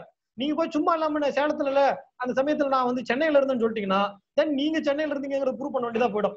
அப்படி ப்ரூவ் பண்ண முடியாம போயிடுச்சுன்னா நீங்க சென்னையில சேலத்துல இருந்தீங்கிறது ப்ரூவ் ஆகி போயிடும். அதனால நீங்க இந்த இதை பொறுத்த வரைக்கும் அல்லிபி எடுக்கும் பொழுது ரொம்ப கேர்ஃபுல்லா இருக்கணும். அதுக்கு வந்து ரொம்ப இன்கிரிடிபிள் எவிடன்ஸ் இருந்தா மட்டும்தான் அலிபி எடுக்கணும். ஒரு கேஸ்ல வந்து நீங்க பாத்தீங்கன்னா சுப்ரீம் கோர்ட் அதாவது நம்ம செங்கல்பட்டுல ஒருத்தர் இருப்பாரு. டென் தேர்ட்டிக்கு செங்கல்பட்டுல இருப்பாரு. லெவன் ஓ கிளாக்கு சென்னையில மர்டர் நடந்திருக்கும். ஸோ இவர் டென் தேர்ட்டில தான் செங்கல்பட்டுல இருந்தங்கிறதுக்கு எவிடன்ஸ் விட்டுருப்பாரு அப்போ வந்து கோர்ட் என்ன பண்ணிருப்பாங்கன்னா செங்கல்பட்டுல இருந்து சென்னைக்கு வர்றது வந்து ஒரு பெரிய விஷயம் கிடையாது. அது வந்து ஈஸியா வந்துடலாம் தட் இஸ் ப்ராபபிள் தான். ஹைலி இம்ப்ராபபிள் கிடையாது. It must be highly improbable இவர் எப்படி வந்தாலும் வரவே முடியாது. அப்படிங்கிற சூழ்நிலையில மட்டும்தான் வந்து அலிபியை வந்து எடுக்க முடியும் அப்படின்னு சொல்லி அலிபியை டிஸ்பிளே பண்ணி கன்விக்ஷன் பண்ணிருப்பாங்க ஸோ அந்த மாதிரி நம்ம அலிபியை எடுக்கும்போது you must be very careful it must be highly improbable சும்மா மியர் இம்ப்ராபபிள்னா பத்தாது. ஹைலி இம்ப்ராபபிள்ங்கிறத ஒரு extraordinary case you must prove அதனால அதை அதை பார்த்துக்கணும். the கொஸ்டின் இஸ் ஹில் ஸ்டேஷனுக்குள்ள போவோம். ஹில் ஸ்டேஷனில் போனோம்னா இது நம்ம ஈஸியாக புரிஞ்சுக்கலாம். இந்த question is whether A committed crime at Calcutta on certain day இப்போ நான் சொன்ன அதே தான் சேலம்னு வச்சுங்களேன் நான் சேலம் சொன்னா அவங்க கல்கத்தான்னு சொல்றேன் Calcutta at certain day the fact that on the day A was at லாகூர் இஸ் ரெலவன் இதுல இந்த செக்ஷன் கீழே அவர் லாகூர்ல இருந்தாருங்கிறது ரெலவென்ட் இப்போ நம்ம சொன்னோம் இல்லையா சென்னையில இருந்தாருன்னு சொன்ன பாத்தீங்களா அது relevant the fact that near the time when the crime was committed A was at a distance from the place where it was committed that would render it highly improbable though not impossible that he committed it is is இதை தான் நான் அந்த இந்த செங்கல்பட்டு கேஸ்ல சொன்னேன். செங்கல்பட்டு கேஸ்ல இதை தான் சொல்றாங்க சுப்ரீம் கோர்ட்ல என்ன சொல்றாங்கன்னா இந்த பாயிண்ட் சொல்றாங்க. தோ இட் தோ நாட் இம்பாசிபிள் அது மட்டும் பத்தாது. It must be highly improbable highly இம்ப்ராபபிளா இருக்கணும். அப்பதான் இட் இஸ் ரெலவென்ட்னு சொல்றாங்க. இந்த செக்ஷன் நோட்ல இருக்கக்கூடிய இல்லஸ்ட்ரேஷனை வச்சு. The question is whether A committed a crime the circumstances are such that crime must have been committed either by A B C or D Every fact which shows that the crime could have been committed by no one else and that it was not committed by either B, C, or D is relevant. இப்போ ஒன்றும் இல்லை. நம்ம சினிமாக்கள்லாம் பார்ப்போம். சினிமாக்கள் என்ன பண்ணுவாங்கன்னா hero வந்து நல்லவராக இருப்பார். அவர் வந்து ஒரு வழக்கில் போய் மாட்டிப்பார். ஒரு சூழ்நிலைக்கு கைதி மாதிரி அவர் போய் மாட்டிப்பார். அப்போ அவர் என்ன பண்ணுவாருன்னா அவர் பிடிச்சி ஜெயிலில் போட்டுருவாங்க. ஜெயிலில் போட்ட உடனே அவர் என்ன பண்ணுவார்? ஜெயிலில் இருந்து தப்பிச்சு வெளியில வந்து அந்த கொ- கொலை செஞ்சவர் யாருன்னு கண்டுபிடிப்பாரு. கண்டுபிடிச்சு நீதிமன்றத்துல கொண்டாந்து ப்ரொடியூஸ் பண்ணுவார். அதுக்கப்புறம் அவரை விடுதலை பண்ணுவாங்க. அதுதான் இந்த செக்ஷன் என்னன்னா இல்லஸ்ட்ரேஷன் என்ன சொல்லுதுன்னா ஏபிசிடிங்கிறவங்க கொலை செஞ்சாங்களா அப்படின்னு பார்த்தா இல்ல இல்ல அவங்க ஏபிசிடி பண்றதுக்கான வாய்ப்பு இல்ல. இந்த டிசிஇடி பண்றதுக்கு வாய்ப்பு இருக்கு அப்படின்னு நம்ம ப்ரூவ் பண்ணிட்டோம்னா then it becomes relevant so இதுல தான் நம்ம வந்து என்ன பண்ணுவாங்க கிரிமினல் ட்ரையல் என்ன பண்ணுவாங்கன்னா இந்த மாதிரி நொட்டோரியஸ் கிரிமினல்ஸ் uh, இருப்பான். அந்த நொட்டோரியஸ் கிரிமினல்ஸ் வந்து கொலை பண்ணிருக்கும் போது மோட்டிவ் அலைஞ்சு பண்ணுவான் ப்ராசிக்யூஷன் தரப்புல. இந்த மாதிரி இவங்களுக்குள்ளார ப்ரீவியஸ் மோட்டிவ் இருந்தது. ரெண்டு பேர் ரைவல் பார்ட்டிஸ் ஸோ இந்த ரைவல் பார்ட்டிஸ் வந்து இவனை எலிமினேட் பண்ணணும்னு பிளான் பண்ணி வச்சிருந்தாங்க. அப்படிங்கும்போது இவங்க என்ன பண்ணுவாங்க டிஃபென்ஸ் தரப்புல என்ன பண்ணுவாங்கன்னா இவனுக்கு நாங்க மட்டும் எதிரி இல்ல வேற யாராவது சோமினி எதிரிகள் இருக்கிறாங்கன்னு எஸ்டாப்ளிஷ் பண்ணுவாங்க. அப்படி எஸ்டாப்ளிஷ் பண்ணும் பொழுது இது அந்த மோட்டிவ் கீழேயும் ரெலவெண்டா இருக்கும். இந்த செக்ஷன் லெவன் கீழையும் ரெலவெண்டா இருக்கும். ஏன்னா ப்ராபபிலிட்டி சேஞ்ச் ஆகுது இல்லையா? ப்ராபபிள் இவர் நம்ம என்ன பண்ணுவோம்? இவர் செய்வதற்கான வாய்ப்புகள் இருக்குன்னு நம்ம முடிவு இந்த மோட்டிவ் மூலமா முடிவுக்கு வரும் பொழுது அவர் செய்வதற்கான வாய்ப்புகள் இல்லைன்னு மோட்டிவ் மூலமா முடிவு வர முடியும். Motive is double edged weapon சொல்லுவோம். அது இந்த பக்கமும் குத்தும் அந்த பக்கமும் குத்தும். மோட்டிவ்னால ஒருத்தர் கொலை பண்றாருன்னா மோட்டிவால ஒருத்தர் பொய்யா கேஸ் போடுறதுக்கு வாய்ப்பு இருக்கு. ஸோ அதனால it is double edged weapon motive is double edged weapon ப்ராசிக்யூஷனும் பயன்படுத்தலாம் டிஃபென்ஸும் பயன்படுத்தலாம். ஸோ அந்த மாதிரி இந்த சமயங்கள்ல எந்த சமயங்கள்ல இந்த செக்ஷன் லெவன் கீழே நீங்க வந்து இப்ப இட் இஸ் இன்கன்சிஸ்டன்ட் இது இது நடந்ததற்கு வாய்ப்பு இல்லை. இது கம்ப்ளீட்டா இவர் தெற்குல இருந்தாருன்னா அவர் வடக்குல இருக்கிறாரு. இவர் கிழக்குல இருக்கிறாருன்னா அவர் மேற்குல இருக்கிறாரு அப்படிங்கிற மாதிரி இன்கன்சிஸ்டன்டிசியா இருந்தா ப்ரூவ் பண்ணலாம். ஹைலி இம்ப்ராபபிளா இருந்தாலும் ப்ரூவ் பண்ணலாம். ஸோ அப்படி ப்ரூவ் பண்ணும்போது நீங்க அதாவது என்ன ஆகும்னா டிஸ்ப்ரூவ் ஆயிடும். So that is what it meant in fact so disproof அப்படிங்கிறதுக்கு இது ஒரு முக்கியமான இது. ஸோ இதுல வந்து நீங்க எவிடன்ஸ் அதாவது எக்ஸாமினேஷன்ல எப்படி கேள்விகள் வரலாம் அப்படின்னா இதை நம்ம சொன்னோம் இல்லையா இந்த ரெண்டு சர்க்கம்ஸ்டன்சஸ் இந்த ரெண்டு சர்க்கம்ஸ்டன்சஸையும் போட்டு கேள்வி கேட்கலாம். ஏ பி சி டியும் போட்டு A and B are relevant A and C are relevant A and D and relevant அப்படின்னு கேட்டு கேட்கலாம். அதாவது செக்ஷன் லெவனில் what are all the relevant அப்படின்னு போட்டு அந்த ஒன்றில் இருக்கிறத ஏவாவும் ரெண்டில் இருக்கிறத பியாவும் போட்டு கேட்கலாம் அல்லது இந்த ஒண்ணுல இருக்கிறது இந்த ரெண்டு கொஞ்சம் பெருசா இருக்கிறதுனால ரெண்டா பிச்சு போடலாம் if it is inconsistent with fact issue if it is inconsistent with relevant fact if it is makes the existence or non existence highly probable or highly improbable இப்படி பிரிச்சு போட்டலாம் இப்படி பிரிச்சு போட்டுட்டு கேட்கலாம் அதே போல இந்த அசர்ஷன் அண்ட் ரீசனிங் சொன்னோம் இல்லையா அதுலயும் கேட்கலாம் இந்த நாளையுமே கேட்டுட்டு இந்த whole four statements are true four statement are false two statements are true two statements are false கேட்கறதுக்கு வாய்ப்பு உண்டு. ஸோ அந்த மாதிரி இதுவுமே எக்ஸாமினேஷன் பாயிண்ட் ஆஃப் வியூல ரொம்ப ரொம்ப முக்கியமான ஒரு செக்ஷன் ஸோ இது வரைக்கும் நம்ம பார்த்த செக்ஷன்ல ஆறு ஏழு எட்டு ஒன்பது பத்து பதினொன்று இந்த ஆறு செக்ஷனும் எக்ஸாமினேஷன் பாயிண்ட் ஆஃப் வியூல வெரி வெரி வெரி இம்பார்ட்டன்ட் ஏன்னா இதுல தான் கேள்வி கேட்பதற்கான ஸ்கோப் ரொம்ப ரொம்ப இருக்கு. அதனால நீங்க வாய்ப்பு கிடைக்கும் போதெல்லாம் இந்த செக்ஷன்ஸை படிக்கிறது உங்களுக்கு வந்து எக்ஸாம் டைமுக்கு ரொம்ப ஹெல்ப் பண்ணும். நீங்க ஈவன் என்ன ஒரு இன்டர்வியூல கூட இந்த மாதிரி ரொம்ப பேசும்போது ஒரு அதாவது ஒரு வாய்ப்பு கிடைக்கும் போது இந்த செக்ஷன்ஸ்ல ஏதாவது ஒரு செக்ஷன் நம்ம யூஸ் பண்ணக்கூடிய வாய்ப்பு இருந்ததுன்னா you can impress upon the judges those are interviewing you அவங்க கிட்ட பாரு இவ்வளவுலாம் தெரிஞ்சு வச்சிருக்கான் பையன் பரவாயில்ல. நல்லா தரவா இருக்கான் சப்ஜெக்ட்ல அப்படின்னு சொல்லலாம். ஸோ அந்த மாதிரி இந்த ப்ரொவிஷனோட நாம இன்னைக்கு இந்த கிளாஸ் முடிச்சுப்போம். இந்த இது வரைக்கும் நம்ம பார்த்ததுல இந்த ஆறு ஏழு எட்டு ஒன்பது பத்து பதினொன்று இந்த ஆறு செக்ஷன்ல உங்களுக்கு ஏதாவது டவுட் இருந்ததுன்னா அந்த குரூப்ல போடுங்க. அடுத்த கிளாஸ்ல நான் அதை எக்ஸ்பிளைன் பண்றேன். என்ன டவுட் இருக்குதுங்கிறத இதுக்கப்புறம் வரக்கூடிய செக்ஷன்லாம் கொஞ்சம் லெஸ்ஸர் இம்பார்ட்டன்ஸ் தான். எது எதில் வந்து ஸ்ட்ரெஸ் பண்ணுமோ அதில் ஸ்ட்ரெஸ் பண்ணுவோம். மற்றதை கொஞ்சம் அப்படியே ஃபாஸ்ட்டாக போயிடலாம். சம் ஆஃப் தி பார்ட்டிசிபென்ட் சொன்னாங்க நீங்கள் ரொம்ப ஒரு நாளைக்கு ரெண்டு செக்ஷன்னா எப்போ முடிக்கிறது எவிடன்ஸ் ஆக்டா மற்ற மற்ற ஆக்ட்லாம் இருக்குன்னு வேற சொன்னாங்க. ஸோ அதனால நம்ம வந்து இனிமே கொஞ்சம் ஃபாஸ்டா போகலாம் இது நான் கொஞ்சம் டிலே பண்ணதுக்கு காரணம் என்னன்னா இந்த செக்ஷன்ஸ் நீங்க அடிப்படையா புரிஞ்சுக்காம வழக்குகளும் நடத்த முடியாது தேர்வுலையும் வெற்றி பெற முடியாது. அதனால இந்த செக்ஷன்ஸை புரிந்து கொள்ள வேண்டியங்கிறது ரொம்ப ரொம்ப முக்கியம். சும்மா படிக்கிறதுங்கிறது நாட் சஃபிஷியன் சும்மா அப்படியே போற போக்கில் படிச்சுட்டு போறது ஒரு முறை படிக்க ரெண்டு முறை படிக்கிறதுங்கிறதெல்லாம் டெஃபினட்டா உங்களுக்கு வந்து எக்ஸாம்ல ஹெல்ப்பே பண்ணாது. ஸோ எக்ஸாம் லெசன்ஸை ரொம்ப கவனமா படிங்க. படிக்க படிக்க தான் சந்தேகம் வரும். சும்மா இந்த லெக்சரை கேட்டா போதும். நம்ம வந்து எக்ஸாம் பாஸ் பண்ணலாம்னு நினைச்சீங்கன்னா அது நடக்காது. ஸோ நீங்க என்ன பண்ணணும்? இந்த லெக்சர் முடிஞ்ச பிறகு உட்காந்து படிச்சு பார்க்கணும். அப்பதான் உங்களுக்கு டவுட் வரும். இது அதோட இல்ல. நீங்க என்ன பண்ணணும்? இந்த செக்ஷன்ஸை வந்து ஒரு ஃபேக்டோட பொருத்தி பார்க்கணும். நீங்களாவே ஒரு ஃபேக்டர் ரெடி பண்ணிக்கணும். இப்போ இதை வந்து இப்போ இப்போ நான் எப்படி உங்களுக்கு சொல்றேன் இல்லையா? அது மாதிரி வேற ஒரு ஃபேக்டர் இப்போ இந்த செக்ஷனை வந்து இந்த மாதிரி ஒரு ஃபேக்டருக்கு பொருந்துமா? இந்த மாதிரி ஒரு ஃபேக்டருக்கு பொருந்துமான்னு நீங்களே போட்டு பார்க்கணும். அப்படி போட்டு பார்க்கறதுங்கிறது மனப்பழக்கம். நம்ம சொல்றோம் இல்லையா? சித்திரமும் கைப்பழக்கம் செந்தமிழும் நாப்பழக்கம் வைத்ததொரு கல்வி மனப்பழக்கங்கிற மாதிரி. இது ஒரு மனப்பழக்கத்தை உங்களுக்கு கொடுக்கும். இப்படி போட்டு பார்க்கும்போது நீங்க எக்ஸாம்ல கேள்வி கேட்கும்போது ஈஸியா உங்களால ஐடென்டிஃபை பண்ண முடியும். ஆனா இவ்வளவுதான்பா. இந்த இதை தாம்பா அவங்க வந்து மறைமுகமா கேட்கறாங்க இந்த ஃபேக்ட்ஸை வந்து அப்படி சுத்தி விட்டுருக்காங்க நம்மள அப்படின்னு. நார்மலா எக்ஸாமினேஷனுடைய பாயிண்ட் தானே it is meant for elimination தானே? ஸோ அதனால என்ன பண்ணுவாங்க? உங்களை எவ்வளவு மேக்ஸிமம் குழப்பணுமோ அவ்வளவு குழப்ப ட்ரை பண்ணுவாங்க. அப்படி குழம்பாம இருக்கணும்னா நம்ம தெளிவா இருக்கணும். அதனால இந்த செக்ஷன்ஸை திரும்ப திரும்ப படிங்க. இதோட நான் என்னுடைய முறையை முடித்துக் கொள்கிறேன். இந்த வகுப்பிற்கு வந்ததற்கும் அமைதியாக இவ்வளவு நேரம் கேட்டதற்கும் எனது நன்றியை தெரிவித்துக் கொள்கிறேன். நன்றி வணக்கம். ஆ சொல்லுங்க பாக்யராஜ் இல்ல அதாங்க முடிஞ்சிருச்சு அதை பண்ணிடலாம். என்னங்க? இல்ல க்ளோஸ் ரெக்கார்டு க்ளோஸ் பண்றதுக்காக சொன்னங்கய்யா நன்றின்னு சொன்னங்கய்யா சரி சரி சரி எஸ் ஆ, சரிங்க.